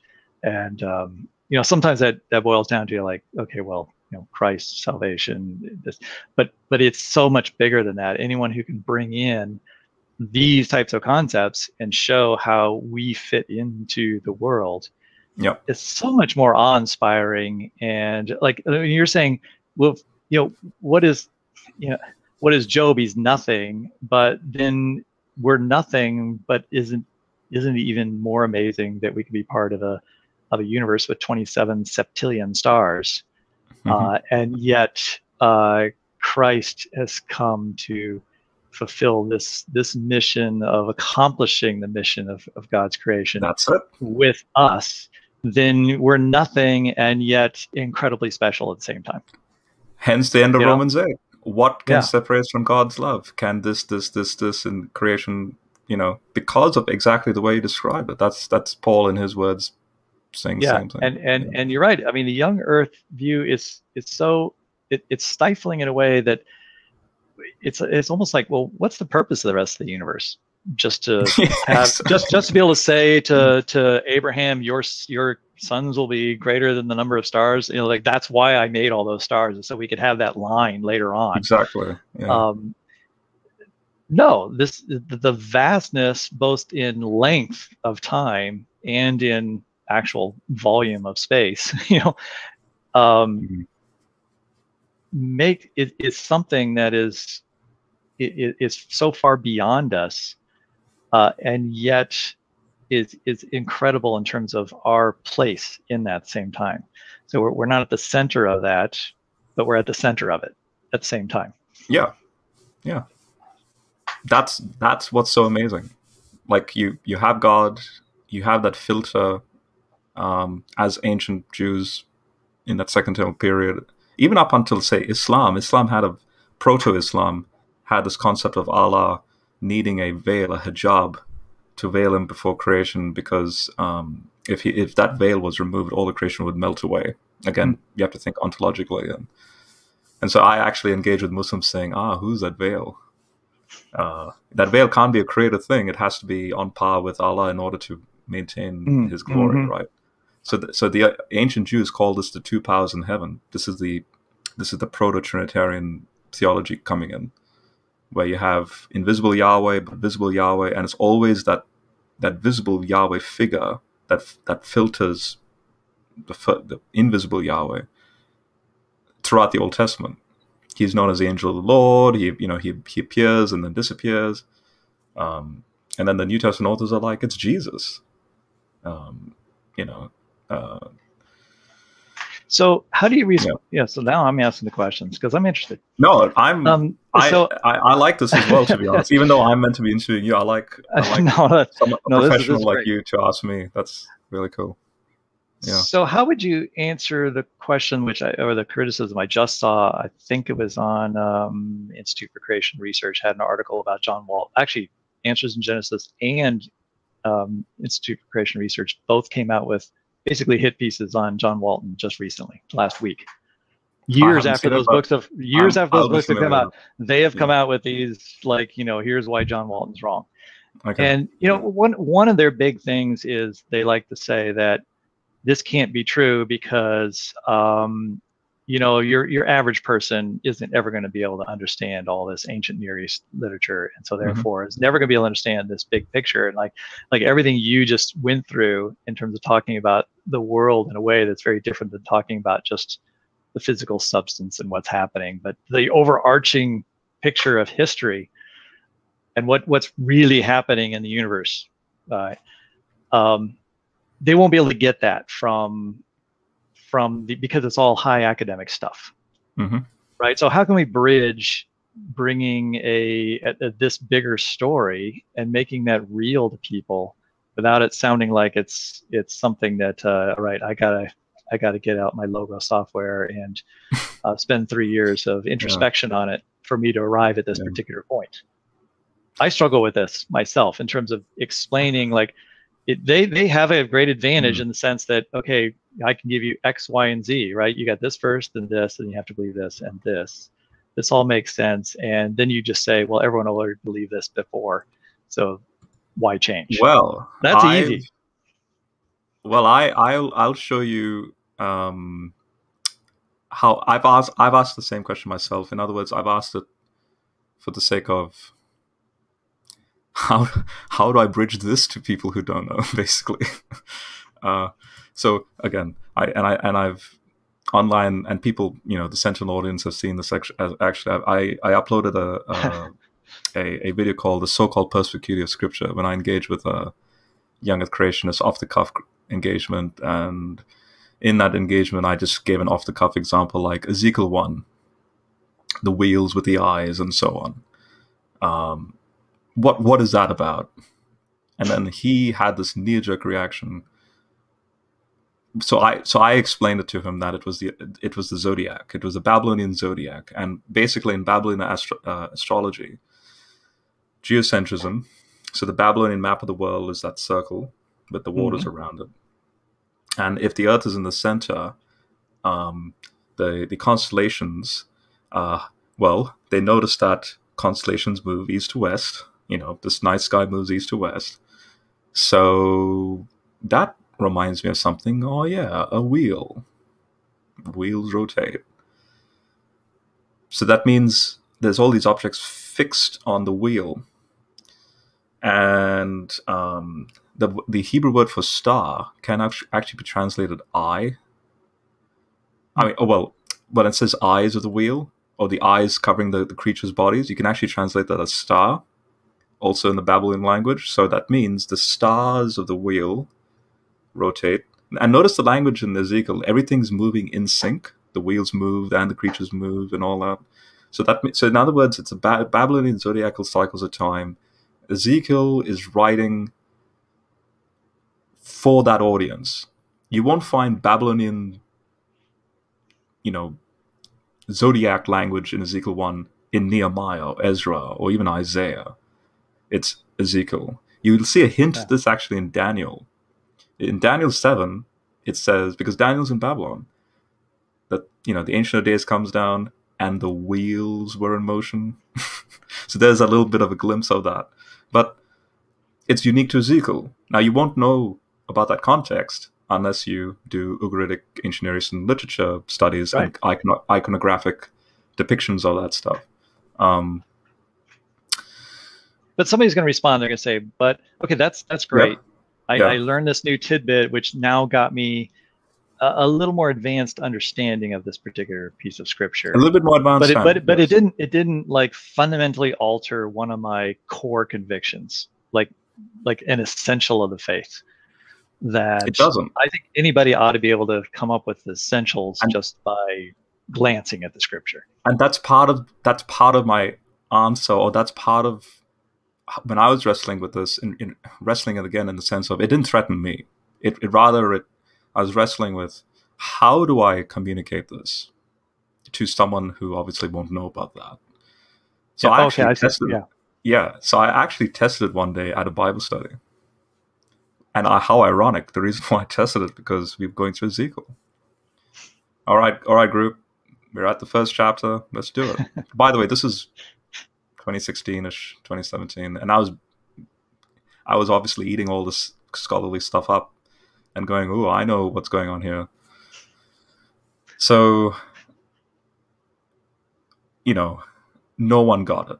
Everyone was thinking, like, like the early church, by the way. You know, the early church, the patristics thought that the four faces was the Gospels. Yeah, right. Like Matthew fits maybe the human face or something, and exactly that allegorical you know hermeneutic yeah and then i went you know what i'm just uh, you know i was acting i was pretending like i didn't know but i was sort of giving a hint that i some i some i read it somewhere that is it possible that it could be the zodiac? Because look at a lot of this imagery it fits you know. And then everyone's like a light bulb moment instantly was like oh yeah. Is that possible? And then like in revelation 12 you know yeah. i saw in the heavens the woman clothed with the sun that again astrological imagery of virgo so but then there was some in the in the room that freaked out a little bit because it felt a bit too natural or too primitive mm-hmm. or too well that's no different to astrology then i i need this to be a special text because it's divinely inspired and it's god and god has no association with the stuff and you see, that was the next reaction they were having, and I'm saying, yeah, no, don't worry. Yeah. Right. Also, Ezekiel saying, well, I'll, Ezekiel saying Yahweh is the God of the cycles of time, not Marduk. That's what Ezekiel's saying to his audience. Um, he can use ancient Near Eastern imagery like cloud rider language, which was associated with Baal. No, Yahweh is a true cloud rider. Then Jesus uses cloud rider language in the New Testament to say he's God. Um, Like that's yeah, that's, that's how I approach this. Yeah. Yeah. Yeah. I like that. And and and also just the fact that mm-hmm. that language does sound weird to us. Even when explained, it might sound strange. Like why why use mm-hmm. that? Okay, I, I maybe intellectually understand that. But if you if you try to understand that individuals living at that time, living in that culture, but also just I mean, you would have been aware of the stars. It's kind of like people who don't who live in cities exactly. today who don't know anything about you know, go to the Grand Canyon and have no idea what to expect from that. Mm-hmm. Um, can I can I also that, show you? Yeah. No, no. Finish your point. No, no, I'm done. Go ahead. I want to show you as a conclusion to my journey in that sense. That was so. So, so this is this is the build up to when I, now I'm completely comfortable to see a scriptural mandate for that question. Where, okay, can I see in the New Testament a hint where percep- these type of perceptions that that at first seem obscure purely because of lack of knowledge of the context can I? Does that phenomena happen in the New Testament? And have that? And if it does, who engaged with it and engage with it openly? So, you know how sermons get at the whole, you know, Peter didn't understand Jesus. He was so ignorant of because when Jesus says, "I'll go, I'll go die," and Peter's like, "No."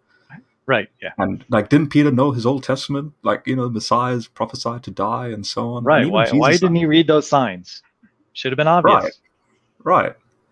So Paul actually says this, and this, just this for me was fun. Suddenly, I was tracking. I was just like, yeah, it it makes sense the way it does. And I'm using this as an analogy to answer the question that you're proposing. So I'll share my screen. Uh, here's Logos. Um, in 1 Corinthians 2 8, he says, well, 7, he says, we speak about God's wisdom in a hidden secret. Now he's talking about salvation and and the plan of salvation. So he destined this before the world began, right? There's this peculiar verse, and scholars like Walton and Heiser will say that this rulers of the world phrase is actually to do with the divine rulers like Satan. So they didn't understand this this uh, plan because if they did understand it, they would not have killed Jesus. Hmm. So, and then in Ephesians 3, he says that he's become a prisoner for Jesus for the sake of you Gentiles. And, you know, he's given this responsibility and all that. And then he goes, he repeats the same secret language. How the secret was made known to me through revelation, right? And then look at how he describes it. In previous generations was not made known to human beings as it has now been revealed. Mm. So it's mm-hmm. like it's like hang on. So the Old Testament had this entire plan that now culminates in Jesus. But no one saw it because guess what? God, if, if, if you saw Casino Royale with the Daniel Craig Casino Royale, you know how Vesper betrays him because he tells her that he now knows the tell of um, his opponent in the poker game. Sorry, don't know that movie. No? I, mean, okay, I, know, okay. I know of the movie, well, but I don't know it. He he doesn't. So God, in other words, doesn't trust even the even the angels. Uh, I'll quickly show you where that's said. Like in Job 15, uh, you have this language of if God doesn't trust His holy ones because the heavens are not pure, and like uh, Peter mentions in Second Peter one, he says that you have this this um, you know God having this plan uh, oh, sorry, it's First Peter one. Is it First Peter one? Yes, the prophets prophesied about the salvation. Blah blah blah blah blah. These are things that even the angels desire to look into. And then finally, when Jesus approaches them after the resurrection, he's like, "Look, you know how foolish you are, slow you are to believe, in everything the prophet said." And then he, he at the end, he says, uh, these are the words that I spoke to you, you know, everything written about me, law, Moses, prophets, and all that had to be fulfilled. And he opened their minds so that they might understand the scriptures. So there's a deliberate veiling mm-hmm. because of this ultimate perspective that if they knew, if the plan was known and transparent, ultimately the main enemy here is Loki, you know, so that he can't get up with his mischief, mischief stuff. That God worked it in such a way that even he was deceived to bring that plan out. Um, and that just again shows not only the sovereignty of him, but but God's not afraid to genuinely keep hidden certain plans and purposes, even even understandings of whatever passage that might already be there, uh, but it finally becomes unveiled later on. So then I I bridged it with with the you know with the Great Commission. So Jesus is talking to a, a Middle Eastern audience, saying, "Go into all the world, preach this message." If I was there, I would tell Jesus, "You mean to tell me this Middle Eastern Jewish religion that's claiming you're God incarnate?"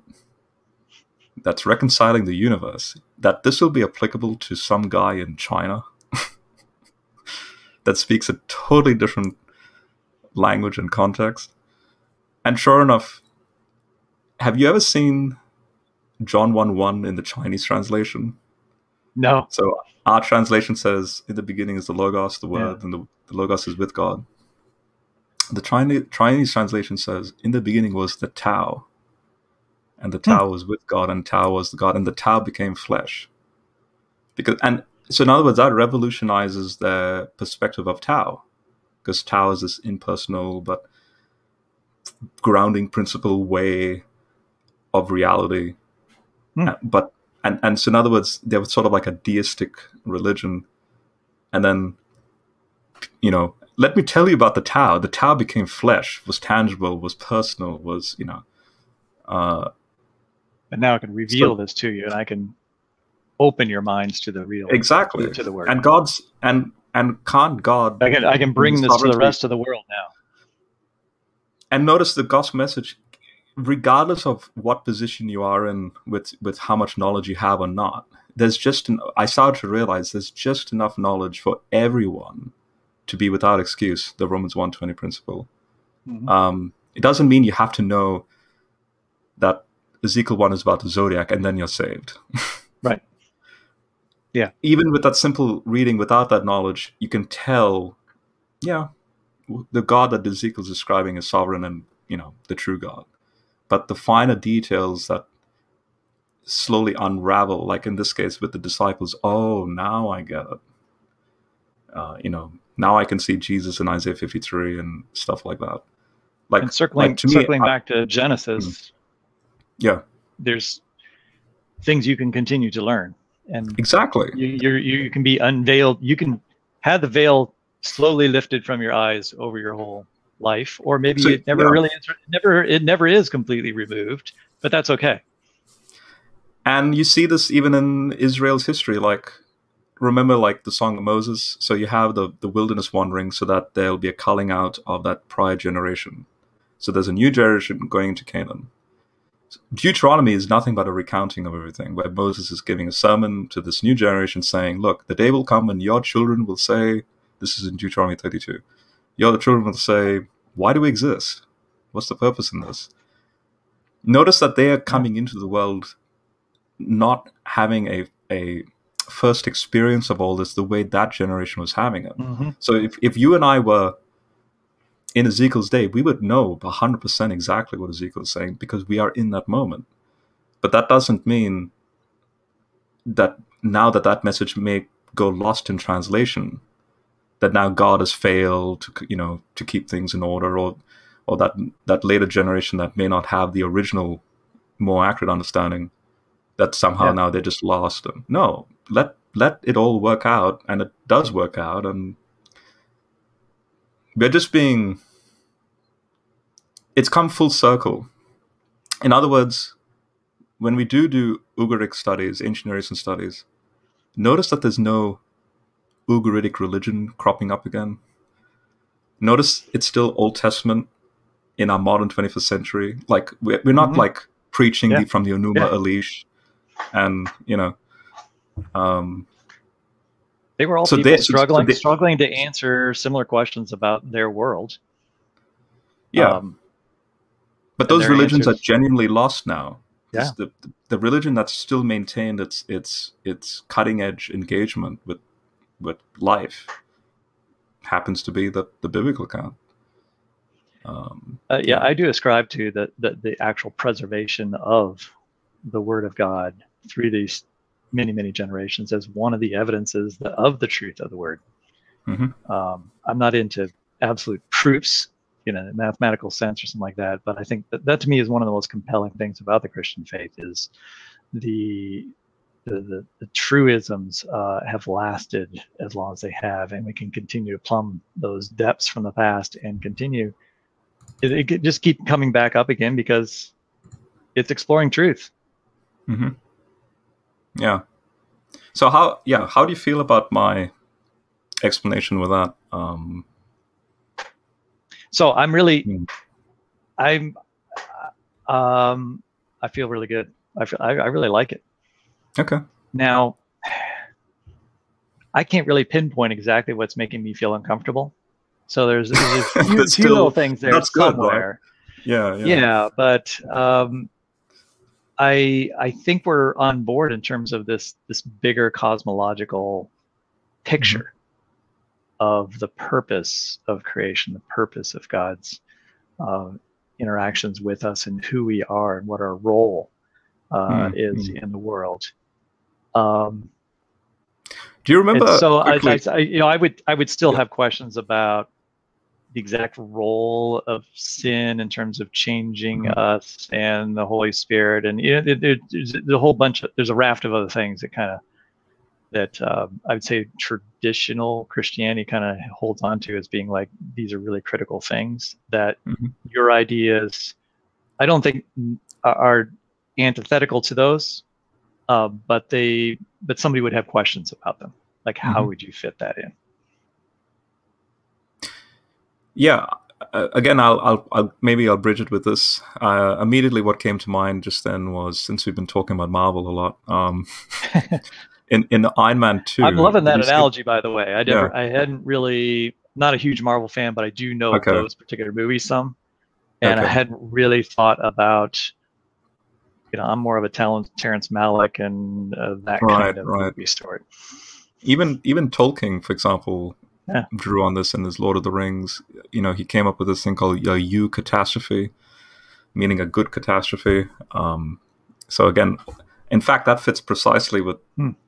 what I just shared with Jesus emerging out of nowhere. That's a eucatastrophe. It's like everyone's just like, oh, like like Frodo, he's about to fail, and they're at the gates of Mordor, which is the image Yeah. of gates of the hell, and Yeah. and then suddenly it all crumbles. It's like, what? Where did that come from? That's a eucatastrophe. So, uh, Tony Stark's moment of eucatastrophe in Iron Man 2 was he was being poisoned by the very thing keeping him alive. Um, he tells, I forgot his name, uh, Samuel L. Jackson's character, you know, Hmm. I've tried every permutation and there's nothing. And then he's like, no, you haven't tried everything yet. so then he goes and discovers in a very weird way that his father made uh, the, you know, the permutation of a particular element on this map that he drew out. And it's like for over what 50 years or 70 years has has been dead but still taking me to school like that like he he passes that remark. And he's like all right let's get back to work you know let's synthesize this. And then it becomes that element that heals them and also is a new form of energy so i take that to be exactly the way you we do science anyway so uh, is is geocentrism wrong? Not really. I mean, I can still navigate and survive on the ocean using the geocentric model, but if I were on the moon, heliocentrism is the only way I could navigate. Yeah. Um, same thing with the with the Bible. Like, okay, like okay, Naaman. Are you familiar with Naaman's story in Second Kings five? He Well, what the, does he? the, Yeah. the, the, the you're having the uh, not polio. Um, what is what does he have? like like a skin like a skin The skin disease and yeah. yeah he gets healed and he asks elisha for a very peculiar favor he says okay if you won't accept any gifts from me can i take something from this place? Can i take dirt? Mhm. and load my donkey with it and off i go. Now in the ancient near eastern custom they believed in sacred ground stuff meaning this is yahweh's turf and when i go to my temple which i still have to do my job and that has helped the, the king kneel they believe that if they were to spray that region with now his belief in yahweh that he's not in other words he's identifying with yahweh now not with the other Mhm. god Yeah, right. so notice then that Naaman has no Bible. the dirt is his Bible. That's it. That's all he's going with. He, that means he will have he will he will actually go to the grave, not maybe not knowing about Genesis, not knowing about the Exodus. Um, but then Jesus in Luke four brings up the Naaman story, and how ironic. The reason why he gets kicked out of the synagogue is because in Luke 4 he says, Hey, I've just read from Isaiah 61, you know, the Spirit of the Lord is upon me, blah blah. And those and then near the end, he brings up the Naaman story to say, hey, there were people back then, non-Jew, closer to right, God without yeah. scriptures than you. And then the, it's like, how arrogant of you, Jesus, to say that. Kicked him out. The thief on the cross. How, how we don't know yeah. much about his walk and how much he knew, but then there's this acknowledgement somehow Jesus is Lord. You know, remember me. He didn't ask to be saved. He just like acknowledge me when you enter your kingdom. Yeah. And uh, like, well, that's the the veil being lifted. God's allowing. Yeah. His mind to see this bigger realm, the bigger picture of. So even even though we may have a very rich in at a moment in his in human history, people having a very rich understanding, in this case, this ancient Near Eastern understanding of things, and the original author to that original audience and, and their discussion, and then it gets lost in translation, so to speak. But mm-hmm. now we're sort of rediscovering it. But the point is, in that dark era of dark in the sense of ignorance of that original context, notice that the gospel narrative is still shine like like bright light as you see throughout church history. Yeah, you know the the, the history of the growth of the church. This ref, you know the Reformation is part of that, and but then that's that's what's so interesting is that that becomes the only focus. This thing called you know Lu, you know Luther's perceptions of justification and faith alone, and like that becomes like the only thing people discuss and now because of now the advent of science and as you're pointing out with john ray now it's like, hang on, okay, we've had enough of conversations on Romans. Let's just yeah. go back to the other books that we haven't discussed. Um, yeah. Well, it, you know, and, and science is great, but it has resulted in our approach and how we look at things through different. I mean, Cunningham's right in some ways. We're looking at, with different lenses at things now, mm-hmm. and we put that filter of science on everything. And even as a scientist, I've recognized that it's not about figuring out all of those details all the time. Mm-hmm. Another cool one for you to think about. Okay, I'll give you one more scripture. I'm loving it. Bring them on. How did the Magi know to come to look for Jesus? Even though they say we saw the star in the east, where from what context are they coming from? They had no Bible, right? They had the Zoroastrian religion and the Babylonian almanacs and and all that stuff. Now, I believe the star is Jupiter. Um, there's some ancient ancient Eastern scholars that bring that out, hmm. but in hindsight of the Magi, right? Uh, Paul hints at that in Romans 10 when he's talking about spreading the good news, like evangelism. So how how beautiful are those who bring the good news? and not but not everyone has obeyed the gospel. And he quotes isaiah and all that right? And then he's like look so consequently faith results from listening and listening results from through the word of of christ. So that means so this goes back to that original question we had. This is something even more serious. What if what if the gospel is not sent like the actual text is not sent to some tribe? Right. How how do they know then so then paul says so even though he says this in verse 17, in typical Pauline fashion, in verse 18, he goes back and asks a rhetorical question. But I mm. ask, didn't they hear? Certainly they did. but hang on, not in the context of the word going out. So the question is, how do they hear it? And then he quotes from Psalm 19 as his as his uh, I don't know as as as a technicality, I suppose. Like, well, I suppose that the the voice has gone out into all the world, and the you know, yeah, in some way, and that's Psalm nineteen four. Um, now, just to show you in Psalm nineteen four, if if again the the scholars like Heiser and the ancient Near Eastern scholars will say, ah, it says message or voice, but if you actually go into, can you see this footnote I brought up? Yeah, yeah if you go to the Dead Sea Scrolls, it reads line. Hmm. And the line here is the ecliptic. The line goes out into all the world. The ecliptic is to do with the zodiac. Mhm, mhm.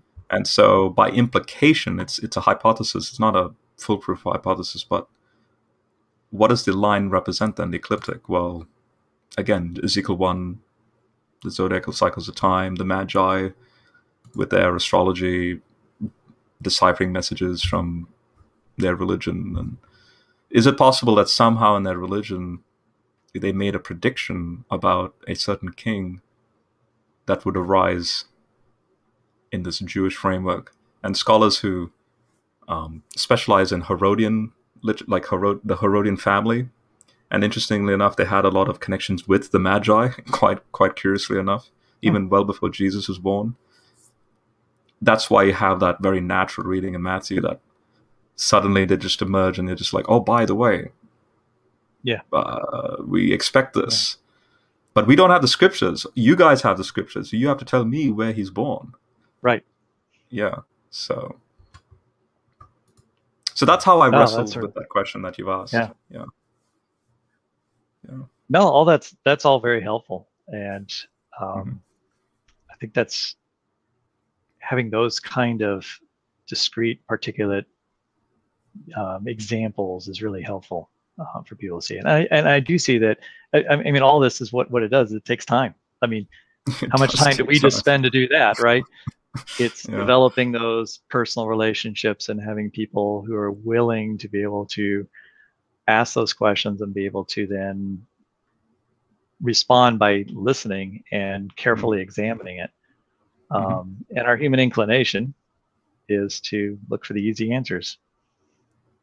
Um, and unfortunately a bit too much in that particular camp right uh the ones we Yeah. uh, are good friends in that camp yeah they yeah yeah. you know, I, I so, have. so go back as, as, yeah, go ahead. i was just going to say go back to that ken ham that answers in genesis article like my explanation there in relation to when you asked me that question about Oh, like summarize again what, what they were trying to say like are they hesitant for this sort of thing to be mentioned in in, in christian circles um Yeah, I think I think Yeah. they they uh, I mean very simply they wanted to be the plain text that speaks across all ages, and they and, and you shouldn't have to know anything about the past in order to understand the present message of the scriptures. Right. So but then you, how you would you understand ezekiel 1 Well, I, that's that's yep. Yeah. How do you even Like how- understand la- how do you understand language at all if you don't understand the context of any word? like how how would they know that the dead sea scrolls has line there instead of voice in psalm 19 you know, you're just trying to confuse people, and uh, You just that's not exactly an, that's that's not an important thing and if if if that causes you to have any doubt about scriptures that's really satan working and functioning there yeah but creating doubt and therefore you should cast that out and just be content with the fact that you don't fully understand all the scriptures. And then at that point you can admit that okay there we just have lost the original intent and we don't understand some things but we are confident that god has pulled forth all the important essential elements of scripture forward to us and we can clearly understand those and it's- everything else is just chaff that kind of can be blown away over time. How about that? But but this but this stuff actually confirms my faith even more. So how could you project to me that this is removing my faith or destroying the people's faith when this actually helps my faith? It's I, it, it's a reaction that says the more you know the greater chance it is that you're going to abandon but that's abandon the faith because a faith is a faith is Yeah. a simple thing and academics are have always been known to corrupt. So stay away from them. Yeah I'm and that sorry, this I'm is being, precise. I'm being sarcastic no, no, no, now, but I no, no, mean, no, but no, there's truth there. This is this is sort of the this is the gut reaction of it's it's a that it, it yeah. This, this is, is exactly the the, popular sort of this is the populist approach. This is sort of Yeah. like this is what this is what people in the bench pew believe. Mm. and leaders take and gravitate toward like okay well what do i need to tell them to continue to confirm what they already believe Mm. um, and so I, I, I take young Earth creationist leaders to really be followers of their own followers rather than leaders, yeah. uh, and say like, I'm in a position of authority and I have responsibility, and I'm going to teach you something more. It, it's more here's what you already believe, and let me just com- continue to feed you information that will confirm your beliefs. And it's just a feedback loop, loop like yeah. that. Yeah, and then, and then and they become so convinced of their own logic at some point that they become insulated from learning anything new. Um, I really don't think that I, I, know some of them do read outside literature, but I don't think Ken Ham sits down and reads, you know, any kind no, of I don't think so theology no. books at all. I mean, he, he's too busy writing his own books, and mm. So he's not he's he's not interested in incorporating. And I know that he's not he he will not converse with anybody who doesn't have the same opinion because he doesn't want to mm. be corrupted by those voices. And I've been told mm. that myself. I, I but one story I didn't tell is that growing up, when I went to graduate school, I was in a I was in a internet debate, um, and uh, our pastors were involved in that, and other people. And I was asking questions about the age of the earth, and so the youth pastor was concerned about my you know what's going on? Like what are these views maybe we should get together for dinner and let's let's talk about this. So we mm-hmm. we got together for dinner and i had my new wife with me and we sat down and we had dinner and pleasant conversation. And then it was sort of like the table was cleared. He sat at one end of the table. I sat at the other end of the table with my wife. And he got his bible out and he said are you for me or are you against me you know are you for god or are you against god? You know it was just first I need to confirm that you're actually not working because that, and then he conf- then he proceeded to tell me he really couldn't listen to any of my scientific arguments because those are of the devil. I mean that's that's Satan speaking through me, even if I'm not part of Satan. Satan's how using me as his uh, uh, corrupting force, and so therefore he couldn't listen to those arguments um, and we could only talk about the Bible. Now that was an important moment for me for a variety a variety of reasons. I felt super mm-hmm. ill leaving there, but it also made me realize because I think at the time I was thinking scientifically, like I got all these arguments for why the Earth is old, and you mm-hmm. got nothing, right? I'm gonna I'm gonna crush you. I'm a little bit like some of the people that I've heard recently talk about me, in that I was gung ho and I had all the answers. Mm. Um, and that made me realize it isn't about the scientific evidence, right? You know, it, it's mm-hmm. really mm. about having answers for why we believe what we believe and what are some of the core hermeneutical issues involved here. Um, mm. Now, you've looked at my blog. You know, I talk a lot about science. I still want to. Oh, yeah. Pro- I want to provide for those who are seekers. I want to provide like, okay, I'm I'm struggling with like how to understand these topics. I'm going to provide some answers there but I don't have any illusions that many people will just like, I don't believe this stuff. I'm just going to read the science and then I'm going to change my mind. Mm. Um, that's the, I'm I'm I'm like the several steps down the road, you know, mm, before you mm, sort of like, mm. okay, now I'm going to deal with these topics. There's a there's a super chat came and thanks Matt. He says, um, I think young Earth creationist organizations will have to devote more time to arguing flat earthers. Their their rhetoric on compromise will make this inevitable thoughts? Um, yeah, I think, but it is connected too in some way, in a roundabout way, with that article you mentioned about John Walton's work, because John Walton will say, well, yeah, if you go down the ancient Near Eastern route, you do get into ancient Near Eastern cosmology, which is a flat Earth stuff. But then the flat earthers are taking it like as if that is yeah. the way things are. Um, I, th- I think there's a yeah. definitely a growing element of flat earthers that are being generated within the young earth creationist community because of the types of arguments young earth creationists use. It, it lends themselves to falling down that I, will call it the slippery slope down to down to flat earthism. And you mm. you know it's becoming a concern to young earth creationists because they have put several people like Answers in Genesis, uh, Faulkner has written several articles and now a small pamphlet about why young earthism is uh, sorry, flat earthism is wrong, mm-hmm. they wouldn't they wouldn't try to upset anyone within their camp if they didn't feel like this was a real problem. And now they're mm-hmm. trying to confront that. And uh, in the chat group, in the chat session, in a uh, live session I was watching the other day, talking about me, you know what I'm talking about. Yeah. Uh, a flat Earth debate broke out there you know, and it was going to like, well, how do we, con- I how don't. do we, con- okay. how do we control this? Because you know their arguments are almost the same, and yet we're going to say like, no, you're a fool, but here we are saying everyone else is a fool. Um, Hmm. It it become th- their own arguments become a, a, a an a hindrance to trying to dispel um, the flat earthism. Hmm. Um.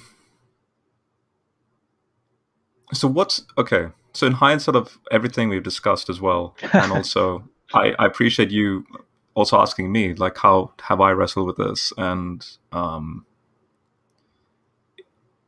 even though this is and, and I'm also letting the audience know as well, this is the first time Joel and I even this dialoguing, even though we've dialogued recently and we've been messaging each other through DMs, but No, we're just Uh, figuring out who each other are. Yeah. like this is this is in the moment it's like a kindred spirit sort of thing going on and and i suppose you're getting the perspective that i'm obviously a guy in australia tucked away on this planet. You're a actually a professional. You're you know a professor. You, you know you're actually doing science. And you've also been wrestling with this with, with these data points and a christian so you bumping into me or me to you and the way we sort of put our cards on the table does this then give you some form of like a relief? Like an easier yoke about about the, the the church moving forward with respect to how christians engage not only scientifically but theologically? So in other words am i or people like me and trust me there are it's not just me every like matthew for example he's part of the sentinel community. There's a there's a there's a growing more introverted this type of christian brotherhood that care about the stuff that i just shared and what you also talk about Absolutely. is there hope in other words uh, outside the young at camp that might be the loud voice but they're not really they have no foot anyway in the academic realm anyway um, yeah do you, do you feel some form of like a like a light at the end of the tunnel uh, I do. you know, I feel. I feel. Actually, this conversation has been uh, delightful in so many different ways. Um, I'm. Yeah, I feel. I feel really great that there are others that are, are just willing to think about these topics in a very serious way, and I am seeing that. I mean, ever since the. I mean, there's the growth of BioLogos here in the United States. Um, I also know just because I have a lot of pastor friends and I have formerly been on a lot of lists where pastors talk and, and so forth. And I Mhm. have a lot of inside sources within some churches, uh, denominations, that there really is a lot of consternation about young earth creationism, but we're still in this stage where um, it's it can be a little bit of a a no-win situation if somebody is very forceful against young earth creationism because of what we talked about earlier. It- you know their people in their church have been brought up on young earth creationist literature and homeschooling right? There's Yep. there's just there's a large volume of of information out there that has infiltrated into just the the, the consciousness of of a lot of even if they don't understand it it's sort of what they expect Hmm. and it puts pastors in a difficult position i mean this is i mean you see what ken ham does he constantly talks about how pastors that went to seminaries are probably corrupted because he Hmm. understands that in seminaries they're doing what you're what you're talking about they're reading this literature and they are thinking about these things in this type of way and i know many many individual individuals in seminaries that uh, are are deeply thoughtful on this topic and they're teaching pastors this. But then you get into the real world which is okay now i'm a pastor and i i'm of a, i have a small church and uh, if i start talking about this in this way i might you know fracture this church. And so you just tend to ignore the topic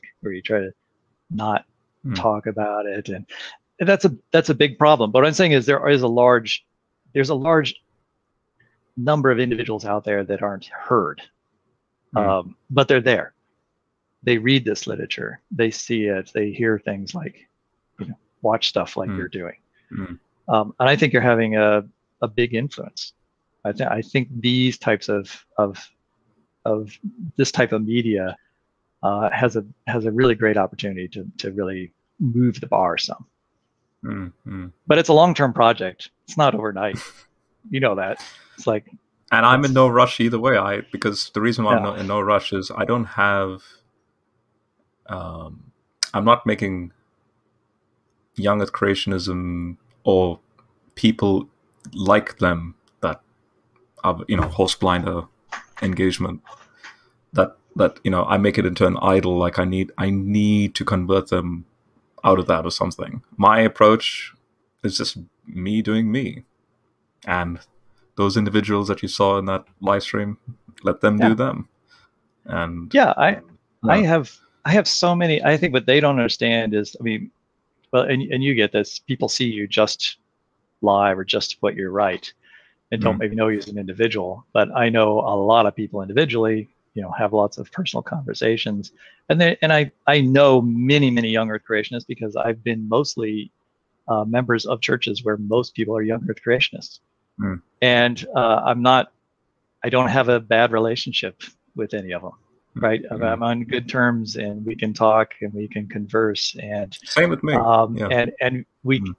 And, and I think they've learned a lot from me. And I would say I have converted some, but it's not been like I'm going to convert you. Mm, It's mm. more having conversations gospel- and the asking interesting first- questions. Yeah. yeah. And and if Yeah. they happen to like change your view somewhat, or just even moderate them a little bit, or even just appreciate that this is complex, right? Mm. You know, just like all these other topics we've talked about in Sunday school, whatever. Once you start digging into it, it's like, oh wow, there's like all these different nuances. Mm, And when they find out, oh, young Earth creationism, oh, there are other nuances, and they're not all just crazy.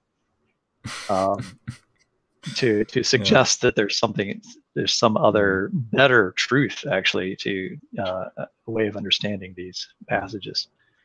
Mm. Um, but it's a hard road, and right now it's it's such a divided, uh, well, for us, a divided country here along political boundaries and so forth, and it is it does get wrapped up into into some of these um, I don't know boxes that young Earth creationists are in. Mm. And for them to let go of young Earth creationism means something more than just changing a a view of Scripture. It it comes along with a number of other, um, uh, I'll call it baggage along with it, but I'm sure they don't view it that way. since you've engaged and and again a lot of your blog posts uh, you're, you're you're engaging with sort of like an observation response method with you know young earth creationist um, situations uh, Yeah. throughout the history of your blog posts uh, is it a how would you ultimately if you were to really iron it down or distill it down to three bullet points or something if you could uh like like maybe your hopes for the younger creationist movement but i'm thinking more the psychology of the whole thing like why are they so fixated and ingrained to hold on to this thing and then immediately jump to things like oh you're working for the devil because it's not it's not this model like Ah, it's pretty Sounds- simple.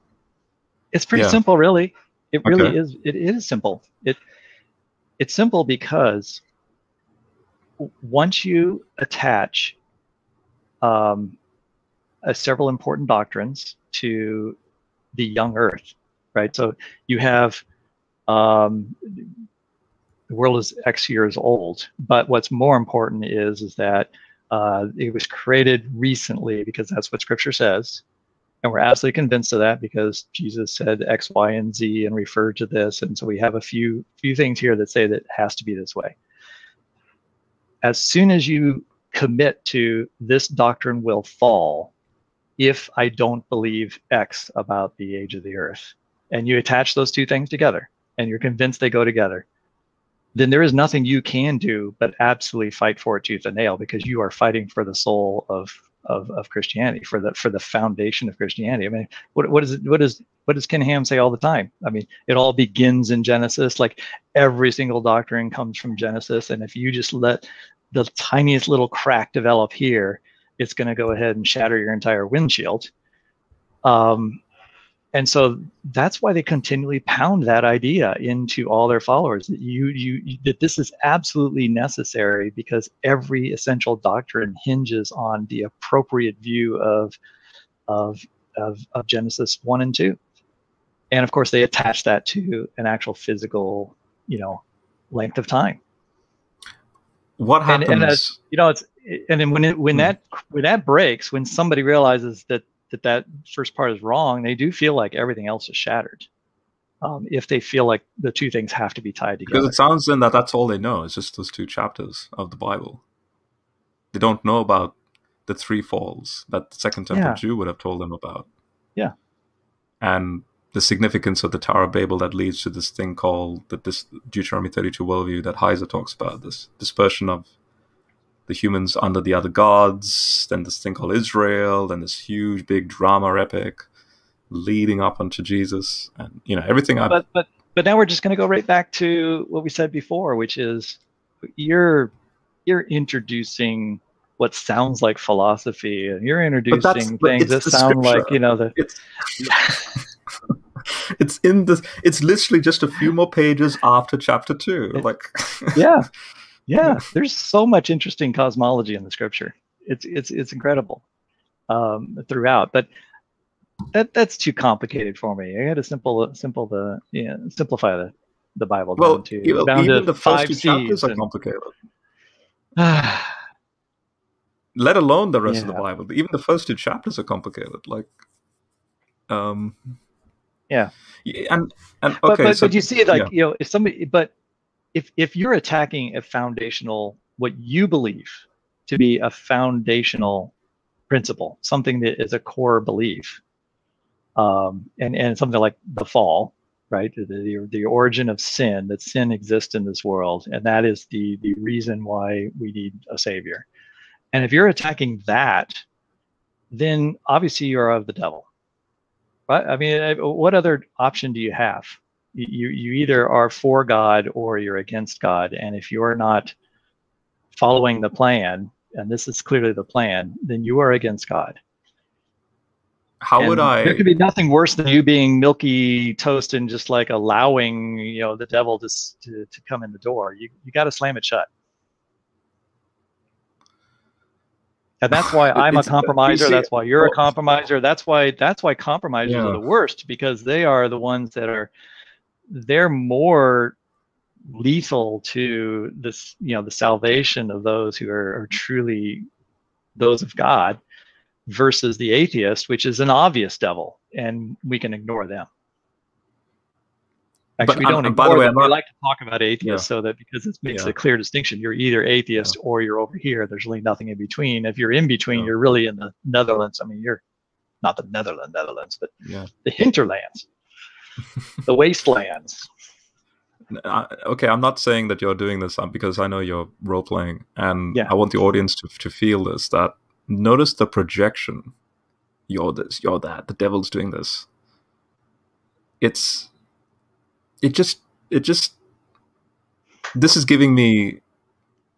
Uh, like a deja vu of those conversations I had all those years ago uh, with, yeah, like you're doing a good job imitating you know that where it's just this projection and i just couldn't i couldn't um it's not that i couldn't stand it anymore it's just i i it's like why i'm just literally wasting my time you lit and i actually told one of them i said look you do you i'll do me and i and i said it in a and i know it was an arrogant way of saying it but how how else am i to describe it i'll make progress you won't like yeah I'll actually yeah. make progress, yeah. whether it's it doesn't have to be big progress, but the point is I'll make progress in life. You will just be stuck in this horseblinder mode, and you know. And the sad truth is, like five, six years later, when I bump into those people again, and I ask them, you know, what, what, what have you done with your life? And it's so sad. Like those who really allowed this to dictate their life, their education, their whatever. Mm-hmm. This they're just still in that stagnant where they, they haven't really progressed in education. They don't really have good jobs. That you know? It's it's a Uh, culture of protectionism where you build a fort around yourself. And and a part of it is and this goes all the way back to revelation eschatology and so forth a, a lot of these individuals are in the mode of i'm just hunkering down in this world and i just i just want to survive until i get to that afterlife. Right? Th- th- there's nothing in this world. There's I nothing see. this world is not going Mhm. anywhere right? It's not actually progressing like all the things we talked about sort of evolving and god's working in this world. No this world is just a it's a temporary space and it's been ruined right? And it's decaying right? Genetic entropy there's all these different concepts in young earth creationism where the world is essentially falling apart. And so Mm. there's a uh, there's a negative view of the future and i just want to protect what i have. And then i'm going to put this little moat around my kids as well and as long as you believe these things and so anytime you're trying to expand your your ideas and try to understand the world and maybe And like try enjoy to make the world a better well. place yeah. or or yeah. try to protect the environment because Mm. I mean the environment's gonna be gone anyway. You're just allowing yourself to do work that's not the real work, which is just protecting yourself so you can go to heaven. and that Right? is I mean so the real the real work is just is just maintaining your faith, not cultivating and creating in this world and actually governing and sculpting the world like Mm, like we've mm. been given the task to do that God has given us. Now we may do it imperfectly, but I think we still have the role of shaping this this world. Um, and but they don't want to tend the garden; they just want to put a put a fence around it and just hope it survives long enough that they can jump off this ship. So they're mentally prisoners to an 1800s George McCready Price theory, and Yeah. their lives are just ruined because of it. They don't even, and and the sad thing is they don't even know it. It's it's you know it's no different to Hindu culture. Um, just just a quick question: Is my internet lagging? Like, am I breaking up, or is this smooth? You there was once or twice where I saw you go black screen, but you came right back. But your voice has been fine. Okay. So in, in, in Hinduism, you know, the famous karma stuff. But uh, a lot of Westerners don't actually know that uh, karma is um, not the arbitrariness that we tend to perceive it as, like like Mhm. in reincarnation, like oh you you might come back as a bug or something. In classical Hinduism, if you were say a a woman abused by your husband or something. In the next life that's karma. Karma is you you become you are that woman and then you have to receive what you gave. But here's a subtle uh, i guess paradox. Well if you come back in the next life receiving what you gave that means there has to be someone giving you that. Right. So you're perpetuating the need for another life.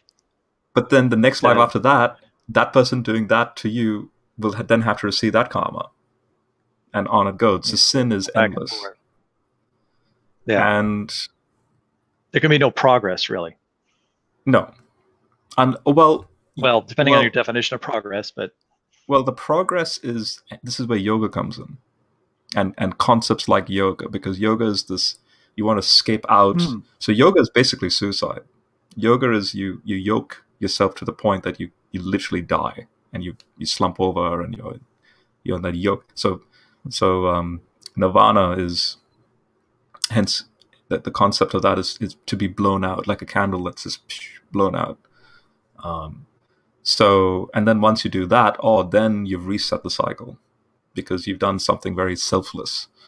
Um, but but but the reason why I brought that up is if you were to go and help a person, say on the side of the street that uh, has no money for food, so much so that they amputate themselves and eat their limbs, you know, just to stay alive. So you go and help them. They will tell you, "This is my karma. Don't help me. I, I need to go through this."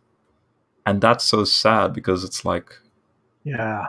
You know, I I feel like smacking them across the face. Wake up! Stop Yeah. being enslaved to this horrible, just this useless ideology. Uh, and it's no different to that. It's like they like you- like what you just said. That they feel like they're just lurkers in a reality that they just happen to be born in, Yeah. As long as my relationship to God is okay, that's all I care about. And if I'm a nobody, that doesn't matter. And then you die. It's like that's so sad. Um, yeah. Yeah, it's. Uh, I guess the other aspect of it is kind of an anti-intellectualism. It's, it's it is a mm-hmm. fear of greater knowledge because somehow greater knowledge is going to it, it, it can't lead you to anything better. It can only make you question things. And it's better just not to question. It's better to just follow. Hmm. Um, My friend Tui. I think I think is, going back to what you said earlier is, is mm-hmm. there are different sort of layers. You know, some people will never see much depth, all right, in, in terms of their Christian walk, but they that they have enough that they that they can be saved, and maybe they don't they don't really think deeply about anything in this world, but at least they have that. Mm-hmm. Um, but there's room for others who really want to explore God's world, and I think that's part of bringing glory to God. I mean, part of bringing glory to God is actually experiencing, understanding, and revealing His creation. Mm-hmm. mm-hmm. Um, you know, God can make all these things, but they can't. They reflect His His His nature. They reflect who He is mm-hmm. but they can't really give him glory and they can't really give him greater appreciation like mm-hmm. we can. And and by exploring creation, I think we are actually glorifying God.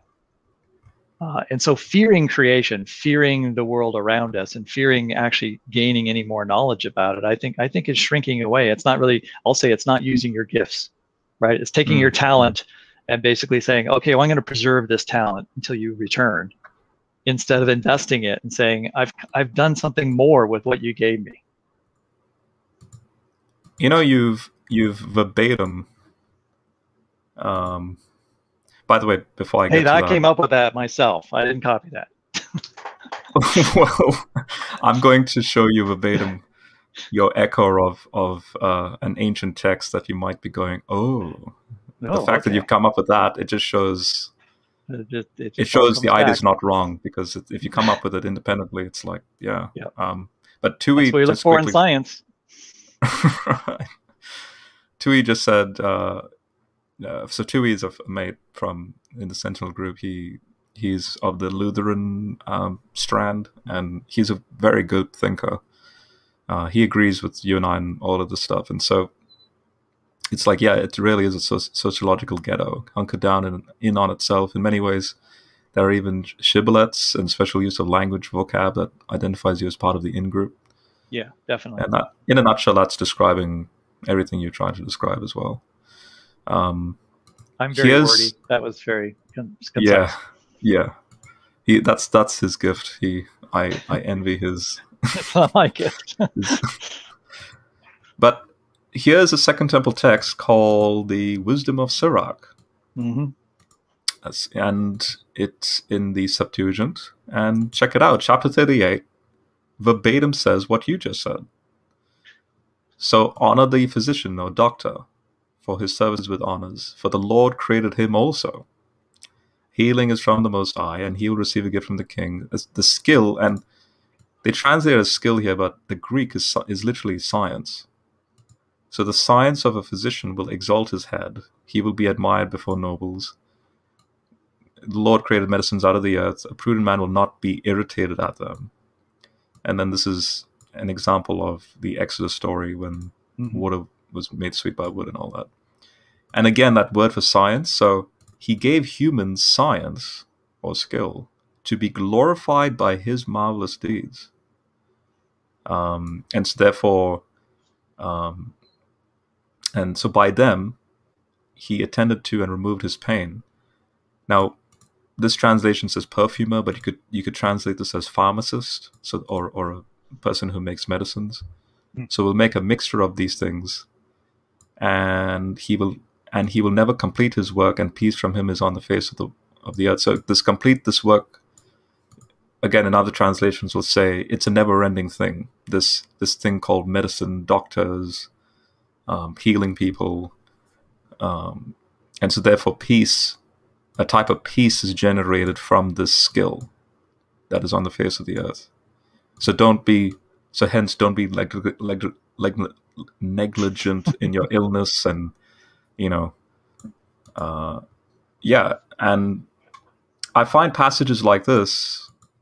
That's also part of the deuterocanonical literature, and for the you know in Orthodox Christianity, they they use Sirach, but um, yeah, that's like, great. It's like there's the there you go. There's a there's a a religious text that may not be part of the Protestant canon, but is nevertheless they were still believing in the same God as you and I.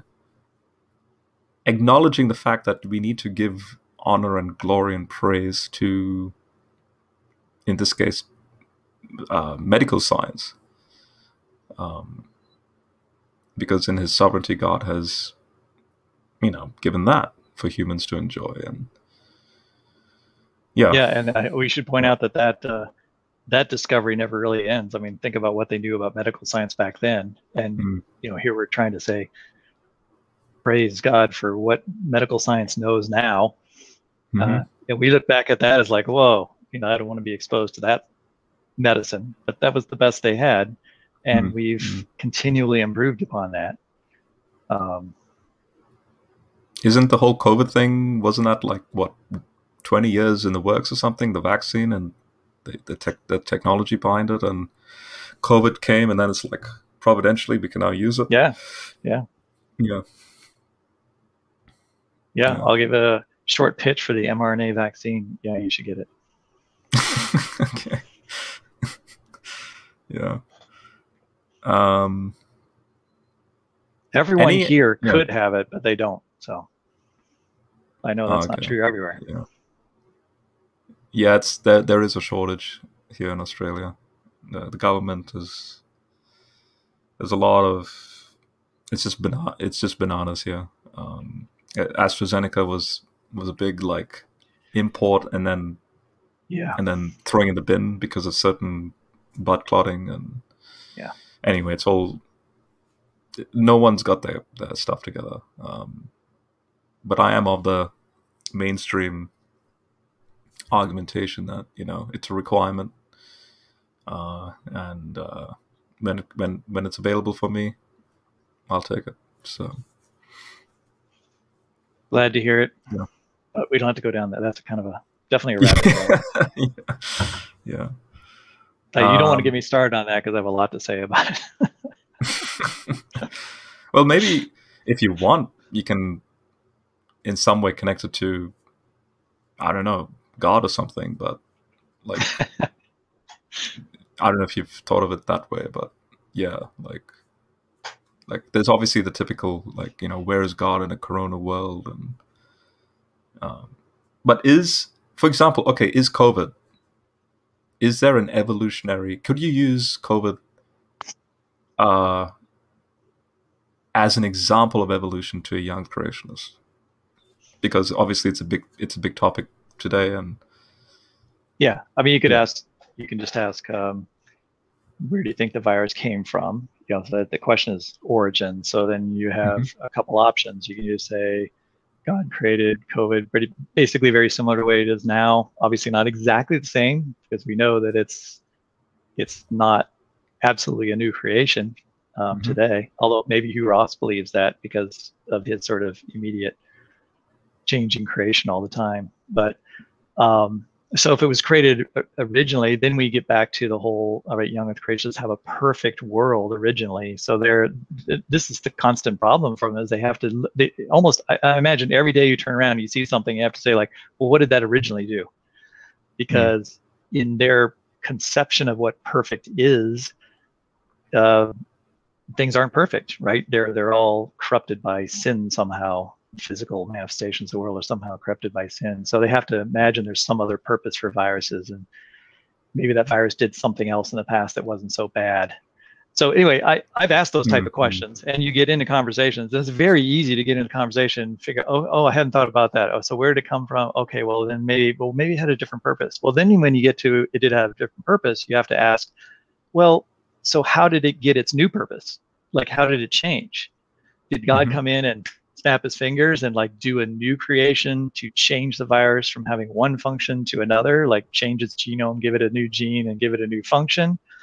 Or did it evolve, right? Did it go from its original state and then have, you know, somehow change its its its habits, right? Had to learn how to adapt to the human body or to pangolins or bats and that required changes. Well, I would say, well, what changes are those? Oh, well, maybe some kind of mutations. Oh, well, you mean like mutations can actually change an organism to make them adapt to living in different organisms? Mm-hmm. Well, yeah, but well, so how did they mutate? What's a mutation? Is it random? Oh, I don't believe in random. So did God make that mutation occur in that specific place? In other words, is he guiding that thing? So you mean he's mm-hmm. guiding evolution? He's guiding things from being a good purpose to a bad purpose over time? Mm-hmm. Um, you see where there's a zillion questions that can that suddenly pop out once you start exploring things. And the more you ask those questions, young Earth creationists end up getting boxed into things like, okay, well maybe they originally had these genes, but God pre-programmed them with other variation they weren't using. So originally, and they never would have used those genes had Adam not sinned, and the world stayed perfect. But as soon as Adam sinned, all of a sudden those new genes were like turned on. Like there's a switch that goes on and says, now you can change into this other thing that was part of my other plan, just in case this other thing didn't work out where mm. uh, Adam was supposed to do this, but he didn't. So I had this backup plan, and now these organisms can change into these other types of uh, critters. Um, so that alone gets you to questions of like the mechanisms of how organisms actually adapt uh, over time. And that will get you to natural selection, genetic drift, talking about mutations, where do mutations come from? Is natural selection a process that is guided? Is, is God fully sovereign in control of every step? Is, is are these, uh, you know, open-ended things? Uh, you know, it's like every question, every major question, you know, about hmm. life can be derived from virtually any particular organism you want to pick out and just start talking about. Um, by the way, the coronavirus has there's hundreds of versions of coronavirus. There's other ones that have invaded humans in the past. Mm-hmm. And there's whole families of them. What I find amazing about coronavirus is it's a fairly young family. You know, speaking from a old Earth perspective, and talk usually you're talking millions of years for a family of organisms or a type of organism to have evolved coronavirus is is maybe only six, ten thousand years old. So it actually kind of fits into a, a young Earth creationist model in terms of like all the different variations. That's also amazing because they they infect uh, dozens and dozens of different species. I would say it's it's a growing family, a rapidly growing family that is learning how to adapt to many different organisms on Earth right now and it's uh, that's why it's called an emergent disease. I mean, it's it's emerging, and it's only going to yeah, we're going to confront this again in the not too distant future in terms of mm another strain. mm So some people might wonder, well, why didn't mm it happen in the past? Well, when you have small populations, organisms don't, I mean, viruses don't have a chance to mutate and they don't have a chance to propagate themselves and they very quickly die out in small populations. So once you get to a large population, that's when you can start to maintain a population of viruses, which allows them to continue to evolve. So just, so I just told you if you got me started, uh, I start talking fast. No, no, no, no, no. I so I, to be honest, I want I want also clarification from you about this. So I'm going to use the analogy of say morality here. So imagine a little child, innocent, versus an adult that's been there, done that. Um, so if you're talking about viruses, so if you go down the young Earth model, are viruses and practically everything else in this ecosystem of survivability, I guess, uh, mm-hmm. and this just the way organisms function, and kind of like what you were met talking to me a moment ago about a particular plant that it is a uh, what is it? It's yeah, like a whole parasite that. Yeah, it's a parasite. Exactly. Now, to use this as a, in a moral sense, so imagine everyone is is very good, innocent, good. That we, we just exist in our various forms. Well, then the question is, why do you exist in your various forms? Like, obviously, evolution will explain why you are in your various forms because it's it's part of that morph- morphological framework and you know, with respect to the environment and the genetics. But the point is, in the young Earth paradigm, it just is. You just a whale is a whale, a horse is a horse, a human is a human, and a virus is a virus, whatever shape it has, and, and everything is in well, complete you, harmony. you're saying younger, you know, would say it is, it is, except that it isn't because in the original creation, they weren't what they are today. Right? Okay, I mean, was so a horse was a horse a horse at the at the very did God create a horse like exactly like you know a horse? so how, what what would they say would be that original horse? You see, this is what's so confusing. Well, I mean, I think they would say that there was a horse kind of organism that was very similar to today's horses, um, but it wouldn't necessarily have all the features that horses have today. I mean, I like. But let me change the example. Like, Okay. what about a, a you have a rabbit? Rabbit has eyes on the side of its head, right? And, and really, the reason you have eyes on the side of your head so you can see predators coming at you from either direction. Whereas predators have eyes in the front because they're looking forward and they're not concerned about what's coming at them from the side. So if you went back to the original creation, you say, well, like, what was the original rabbit? Well, why would God make the original? Did the original rabbit look like today's rabbits, um, or did it not need to be able to look for predators because there were no predators? Like Um, a you know, scorpion. in other words, there's no function. In other words, every function I could go, or I could go feature by feature down an organism, and you could say, well, here's what the, the reason why that function exists is for this. All those functions have to do with the way ecology works and the way organisms are interacting, and almost all of them are something that a young Earth creationist would say, oh, that can't really happen in a perfect world. So therefore, you have functionless organisms in the original creation. They don't they don't serve their features don't serve particular purposes other than just I guess you could say they glorify God just by existing. But you can't look at them and study them and say why are they the way they are because it doesn't make sense the way they are.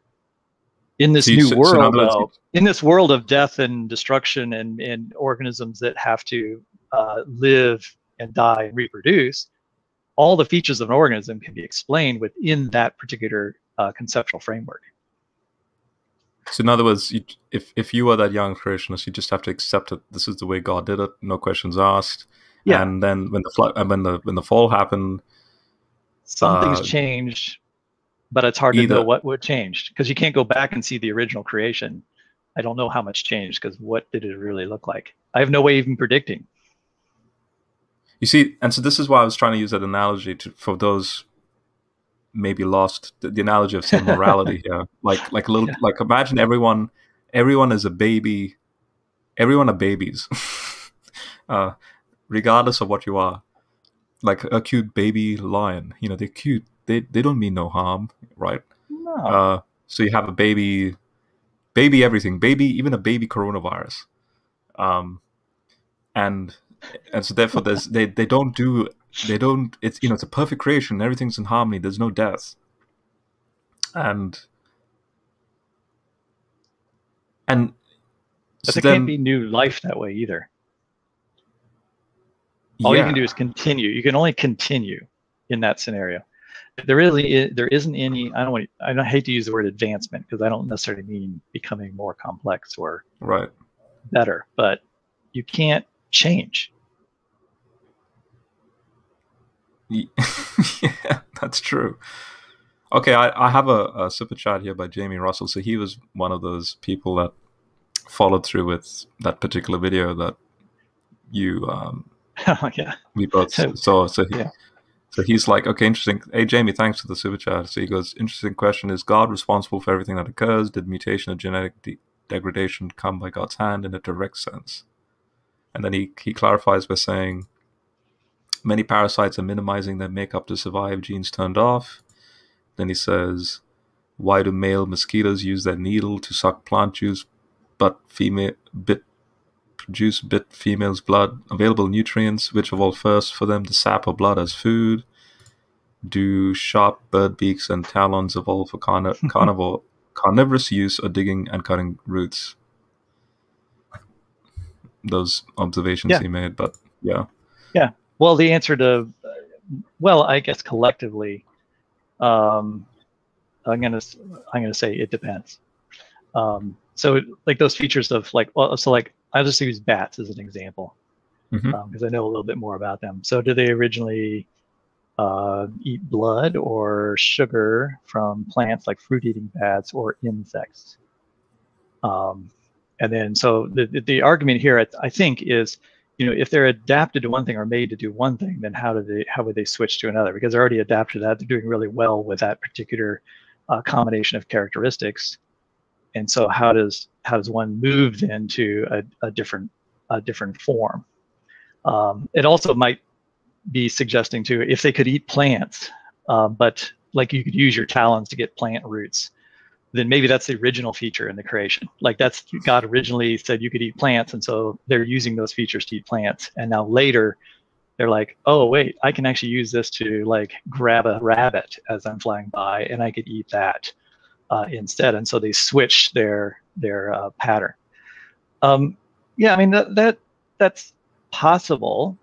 Um, but when you really get down into biology and you find out like how adapted uh, features are, uh, that's it's not very realistic that uh, an organism would that all organisms, all those adaptations are just for eating plants, and then all of a sudden they just switched over to eating meat.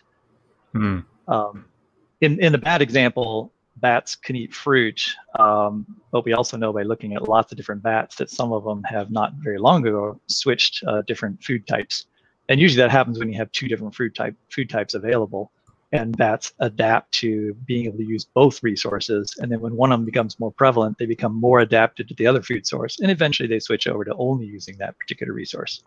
It's kind of like omnivores, right? We can eat meat or plants, and some some organisms eat only animals. Some organisms eat only plants. Um, omnivores are kind of in between. Uh, and to get from mm-hmm. plants to mm-hmm. animals, you usually go through an omnivore stage.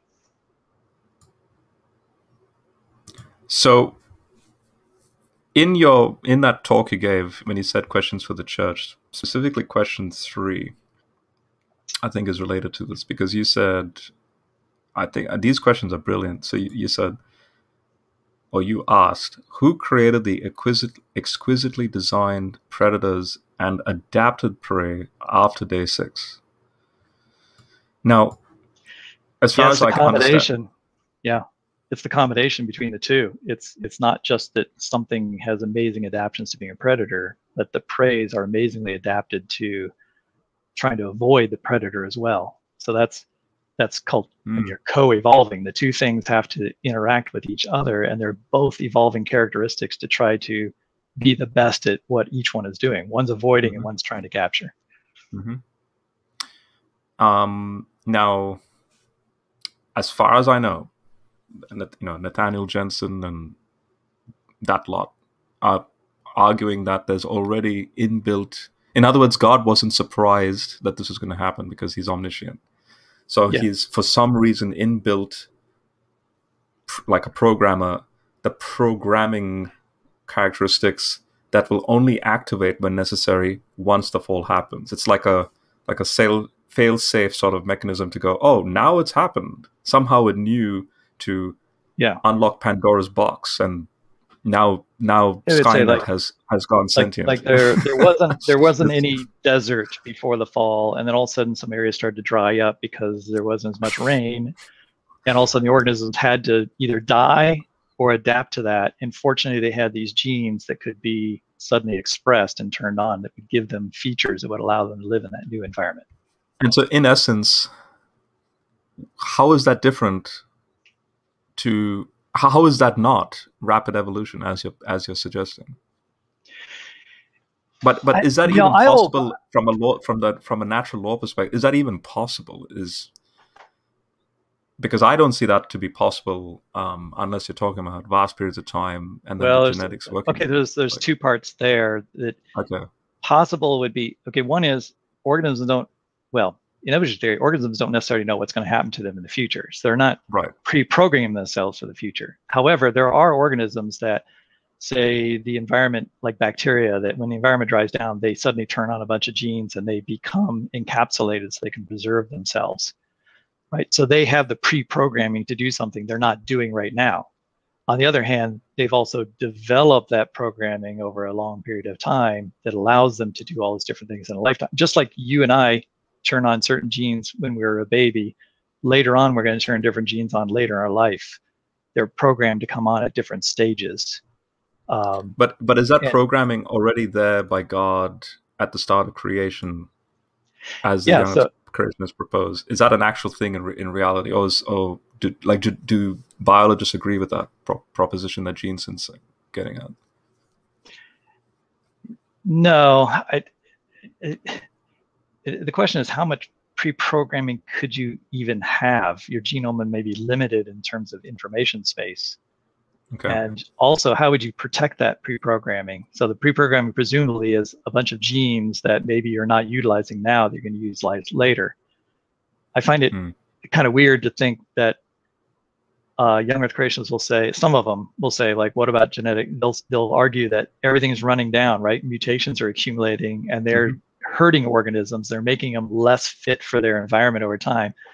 Well, that would also destroy the pre-programming, right? I mean, you had errors in the programs that you were going to turn on later, but now you had a mutation in them. You're now going to have to say that God is miraculously somehow maintaining the programming that he wants to use.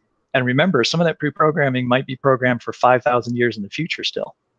Right. Hmm. The, the argument is that it's not just pre-programming for you know the year after the fall, but it's also pre-programming for after the flood, and then it's pre-programming for hey, the environment might change next you know a hundred years from now drastically, and how are organisms going to survive? Well, maybe they already have some more pre-programming that we haven't discovered yet, and they're going to then utilize that. Hmm. Um, so there is there are divergent views among young Earth creationists. That's why it's hard to talk about young Earth creationism with this part because they don't agree with each other about this. So some are into the pre-programming, others are more willing to admit that there's a certain amount of variation built in. That's not necessarily programming like a trip switch that says you come on now, you come on now, and when this happens, this will happen. Like God Mhm. pre-planned everything. I, I think that's very deistic actually in, in many ways. But um, he some of them are more willing to say no, there are there's genetic variation. This is the created heterozygosity thing. There's created variation that when organisms reproduce, they recombine this variation and they create more variants, right? They create different variations of, of Hmm. different features. And Hmm. then the world out there, the environment out there goes, oh, you know what? In this new world, in this new environment, that different, that combination works, that combination works, that combination works. They're the ones that survive the best. They reproduce, they make more of those new combinations. Now, this might sound familiar. That's natural selection I just described right. Right. Right? So they're they're into you create the variation and god pre pre preloaded the variation. And then the world just naturally did what it does natural selection and it adapted everything after that. Now you have icr who objects to that because they see that as not involving god. And i think they have a point. You know if if, if younger if answers in genesis is very much like god's in control of everything ICR is like, well, wait a second, but you're saying that you just have random, you know, crossing back and forth, creating new variant combinations, and then Mhm. what selects everything? Oh, the environment selects it. So the environment is just sort of going through and saying, you're surviving, you're surviving, you're surviving. Well, how is that God being involved? And so they object to that, and they try to say it's all pre-programmed. Everything that ever happens is just an interaction between the environment and the pre-programming that already exists, and so we can Hmm. predict what will happen. We can predict the future. Natural selection says you can't really predict the future. I mean, you can predict generally what will happen in a certain environment, but if the environment changes, those organisms might change into something different uh, than I would have predicted before. So there's some interesting sort of, uh, well, sort of sort of philosophical differences in the approaches to like how the, the fundamental question here at the end of the day is how does God actually work in the world, like right now, like how is he controlling things or is he not controlling uh, things? And, and, And- naturally, a, a uniformitarian model, which ironically is exactly what BioLogos reasons to believe. Like if you if you hold on to that, an Ecclesiastes principle, nothing new under the sun, Yeah, just repeats yeah. reg, a regular regularity of, of the laws of nature. Which, by the way, Jeremiah thirty one, God says, "I've I've made a covenant with the laws of nature, and, and if they don't, if they stop functioning the way they function, I might as well just give up my promises." So it's a declaration that since the laws of nature there's a regularity to it, then there's a regularity to my faithfulness. And yeah, that that would then fit with um, as um, I think it was um, what's his name, B.B. Warfield. I think it was Warfield that said um, God created creation to be creative because he, you know, Yeah. he held to evolution and yeah, yeah, and and I view, yeah, um, I view man as being creative, right? That's one of our Mhm. that's one of the things I think that establishes who we are. Whoops, did you lose me there? I'm No, no, back. no, I can hear you. Yeah. Okay. Yeah, Jamie says uh, that I should solve the free will determinism debate. So yeah, Godspeed. yeah. But just, just But, to, but uh, yeah, just my again, point though is that it does Yeah, all yeah, come back to that. Every time I start writing and every time I start really thinking about how the mechanisms of how things work, of course you end up there. That is where you go to every time. Mm, Is mm. that question? Um, I've spent an enormous amount of time, you know, working with that question, and I'll tell you, I don't have the answer. I think Hugh Ross has a brilliant answer in his Beyond the Cosmos book. He engages with Einstein's famous, you know, God doesn't play dice. And Hugh Ross boldly goes, he does play dice, but he fine tunes the dice. um, and guess Yeah. what? People play dice in the Bible. Yeah. Like they're casting lots for Yeah. Matthias in Acts 1. That's the Urim Thummim. And and I and I earlier actually uh, yesterday I did a Q&A live stream on my channel and I brought this up that in Star Wars Qui-Gon Jinn. So my favorite probably the simplest way to to engage this free will determined, you know, thing. Watto uh, casts a uh, a dice that's already uh, pre-programmed to land not on Anakin. So he's rigged it Mhm. and Qui Gon with the Force guides it. Now, if you went with the classic understanding of the Force, the Force is this otherworldly thing that uh, can contradict the laws of nature. But if you go with the Episode One Midichlorian view, notice it's it's it's the same laws of nature that's working Yeah. with the laws of nature, and it's not going down a deterministic that dice will do what gravity does with the rigging. Rather, Qui Gon is adding information to that Yeah, mechanism yeah. to to tick it over that next step to then land on Anakin.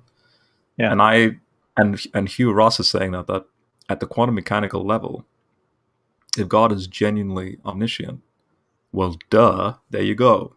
Quantum mechanics is a representation of exactly that. And if and since dice is at play with respect to God, and you have the belief that you you want him to be part of the conversation, like in that Urim Thummim stuff. Mhm. So in other words, God, I know this is random to us, but I want you to engage with y- your ultimate decision as well. So it's it's the free will. There's a genuine free will engagement with you know the sentient being, and then God going, all right, I'll come in and work with it. Even though the text clearly says, like Hebrews one says, you know, He upholds the universe with with, with His word. So there's the upholding of the laws of nature, which includes quantum mechanics, which includes dice-like analogies. But then, if required, he he's like Qui Gon. It'll at any given moment will make it land where he wants it to be, and um, that's Hugh Ross's argument. So he fine tunes the dice, is what Hugh Ross would say. Yeah, I, Um, it, it's funny. You've you actually probably described if if if I'd been forced to answer the question, I probably would have done something fairly similar to that. That's kind of right. my Yeah. compromise view now. Mhm. Um, having come from a or being in a strong reformed uh, tradition, I would have a, a much more God sovereign over like every single thing, um, in in a very strict sense.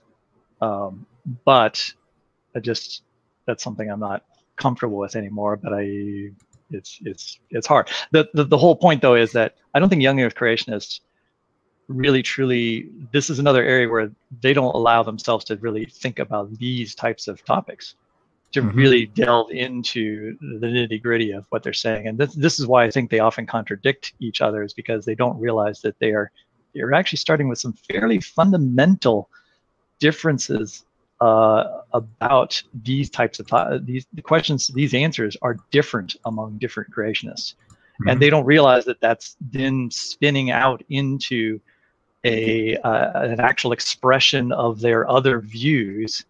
Um, that's their big assumption, and they don't recognize mm-hmm. it. I love. They always talk about assumptions and how important they are. You got to identify your assumptions and know those things. And I find it funny sometimes they don't have any idea what their basic foundation assumptions are themselves. Look at Proverbs I, didn't, 16. I didn't know we were going to be going this direction. Was yeah, not prepared for this. I was just I was just showing Jamie remind me of Proverbs. He just quoted Proverbs sixteen thirty three. But there it is. The die is cast into someone's lap, but the outcome is from the Lord. There we go. So um okay. Um how much time do you have left? Like how long would you like this to go? Um, yeah, how about another? Really, only about another ten or fifteen minutes. Okay, okay, let's do that. Yeah, okay. Must be getting late for you. Yeah, it's like three in the morning, but yeah, it's all right. um, just to clarify, so I have a I have a graphic here by it's it's it's it's actually a graphic from a great courses um, mm. course called um, Understanding the Misconceptions of Science. And the author of this, his name is Professor Don Lincoln, Fermi hmm. National hmm. Accelerator Laboratory. So he comes up with this graphic saying, look, the top graph is the plot. So he, I'm, I'm, I'm reading what he says here. This plot yeah. has on the horizontal axis the complexity of organisms, and on the vertical axis, how much of life on Earth is of that amount of complexity there is a minimum complexity of life with a big bump at, at low complexity and a long tail for more complexity. And then he goes, if evolution favors more complex creatures, you'd expect to see the bump move to the right, with complex creatures becoming common. But that's not what we see. Instead, you see that the bump doesn't move much and just the tail grows a little longer. And then he, so at the bottom graph, it, it's he's saying this is not we don't see this, not what we see. And then he says, the message here is that more than 500 million years ago, the dominant form of life was a single cell organism. Fast forward to the present, and you still see that the dominant form of life on the planet is also not very complex.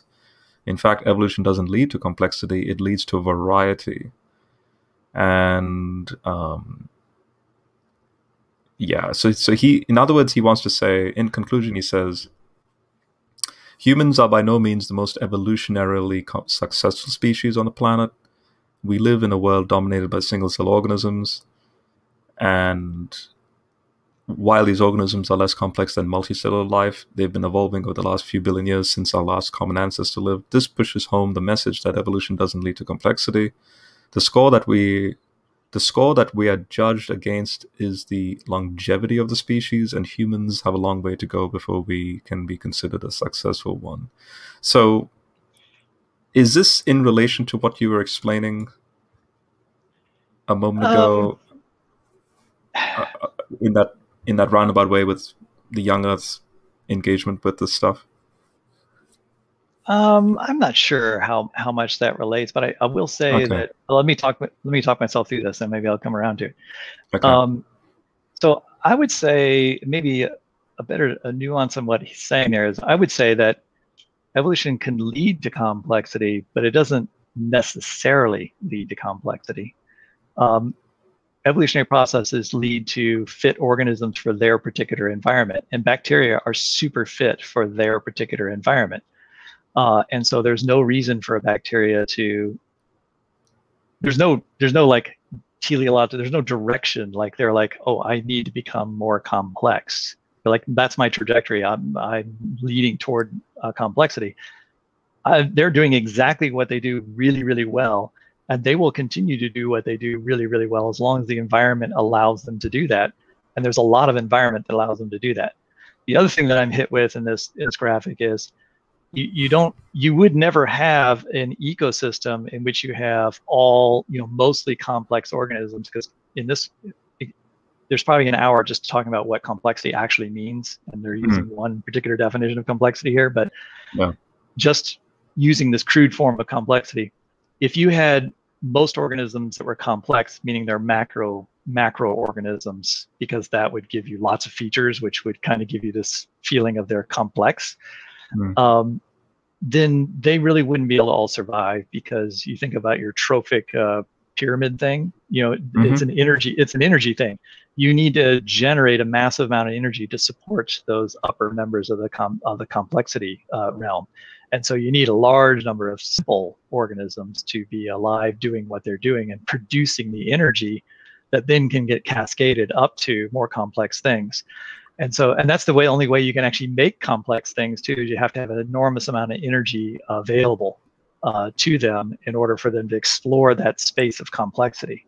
Uh, and that's one of the reasons you have direction where it feels like you have, well, I don't know, maybe you do have direction to, if you start with bacteria, some bacteria can explore that new space of complexity because there's a lot of energy around that they can obtain from other organisms and materials that are being produced by those organisms.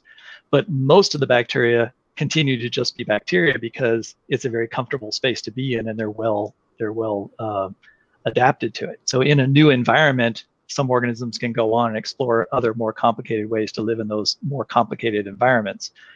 Once all the environments are filled up, though, you're going to have lots of organisms that that this the more efficient way to survive is to be smaller and use less energy and to be adapted to multiple different like environmental parameters and bacteria mm-hmm. are really good at that so in yeah. that way they are more complex in the sense that they can actually live in this amazing crazy world whereas you throw some of those multicellular complex organisms into their world they won't survive Mm. Um, and maybe the ultimate, the ultimate, you know, definition of complexity is is, is maybe your survival itself. Mm. Mm.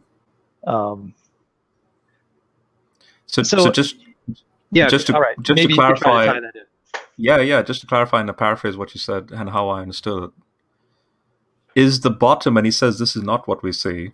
Is he basically saying this is the perception that the young creationists have?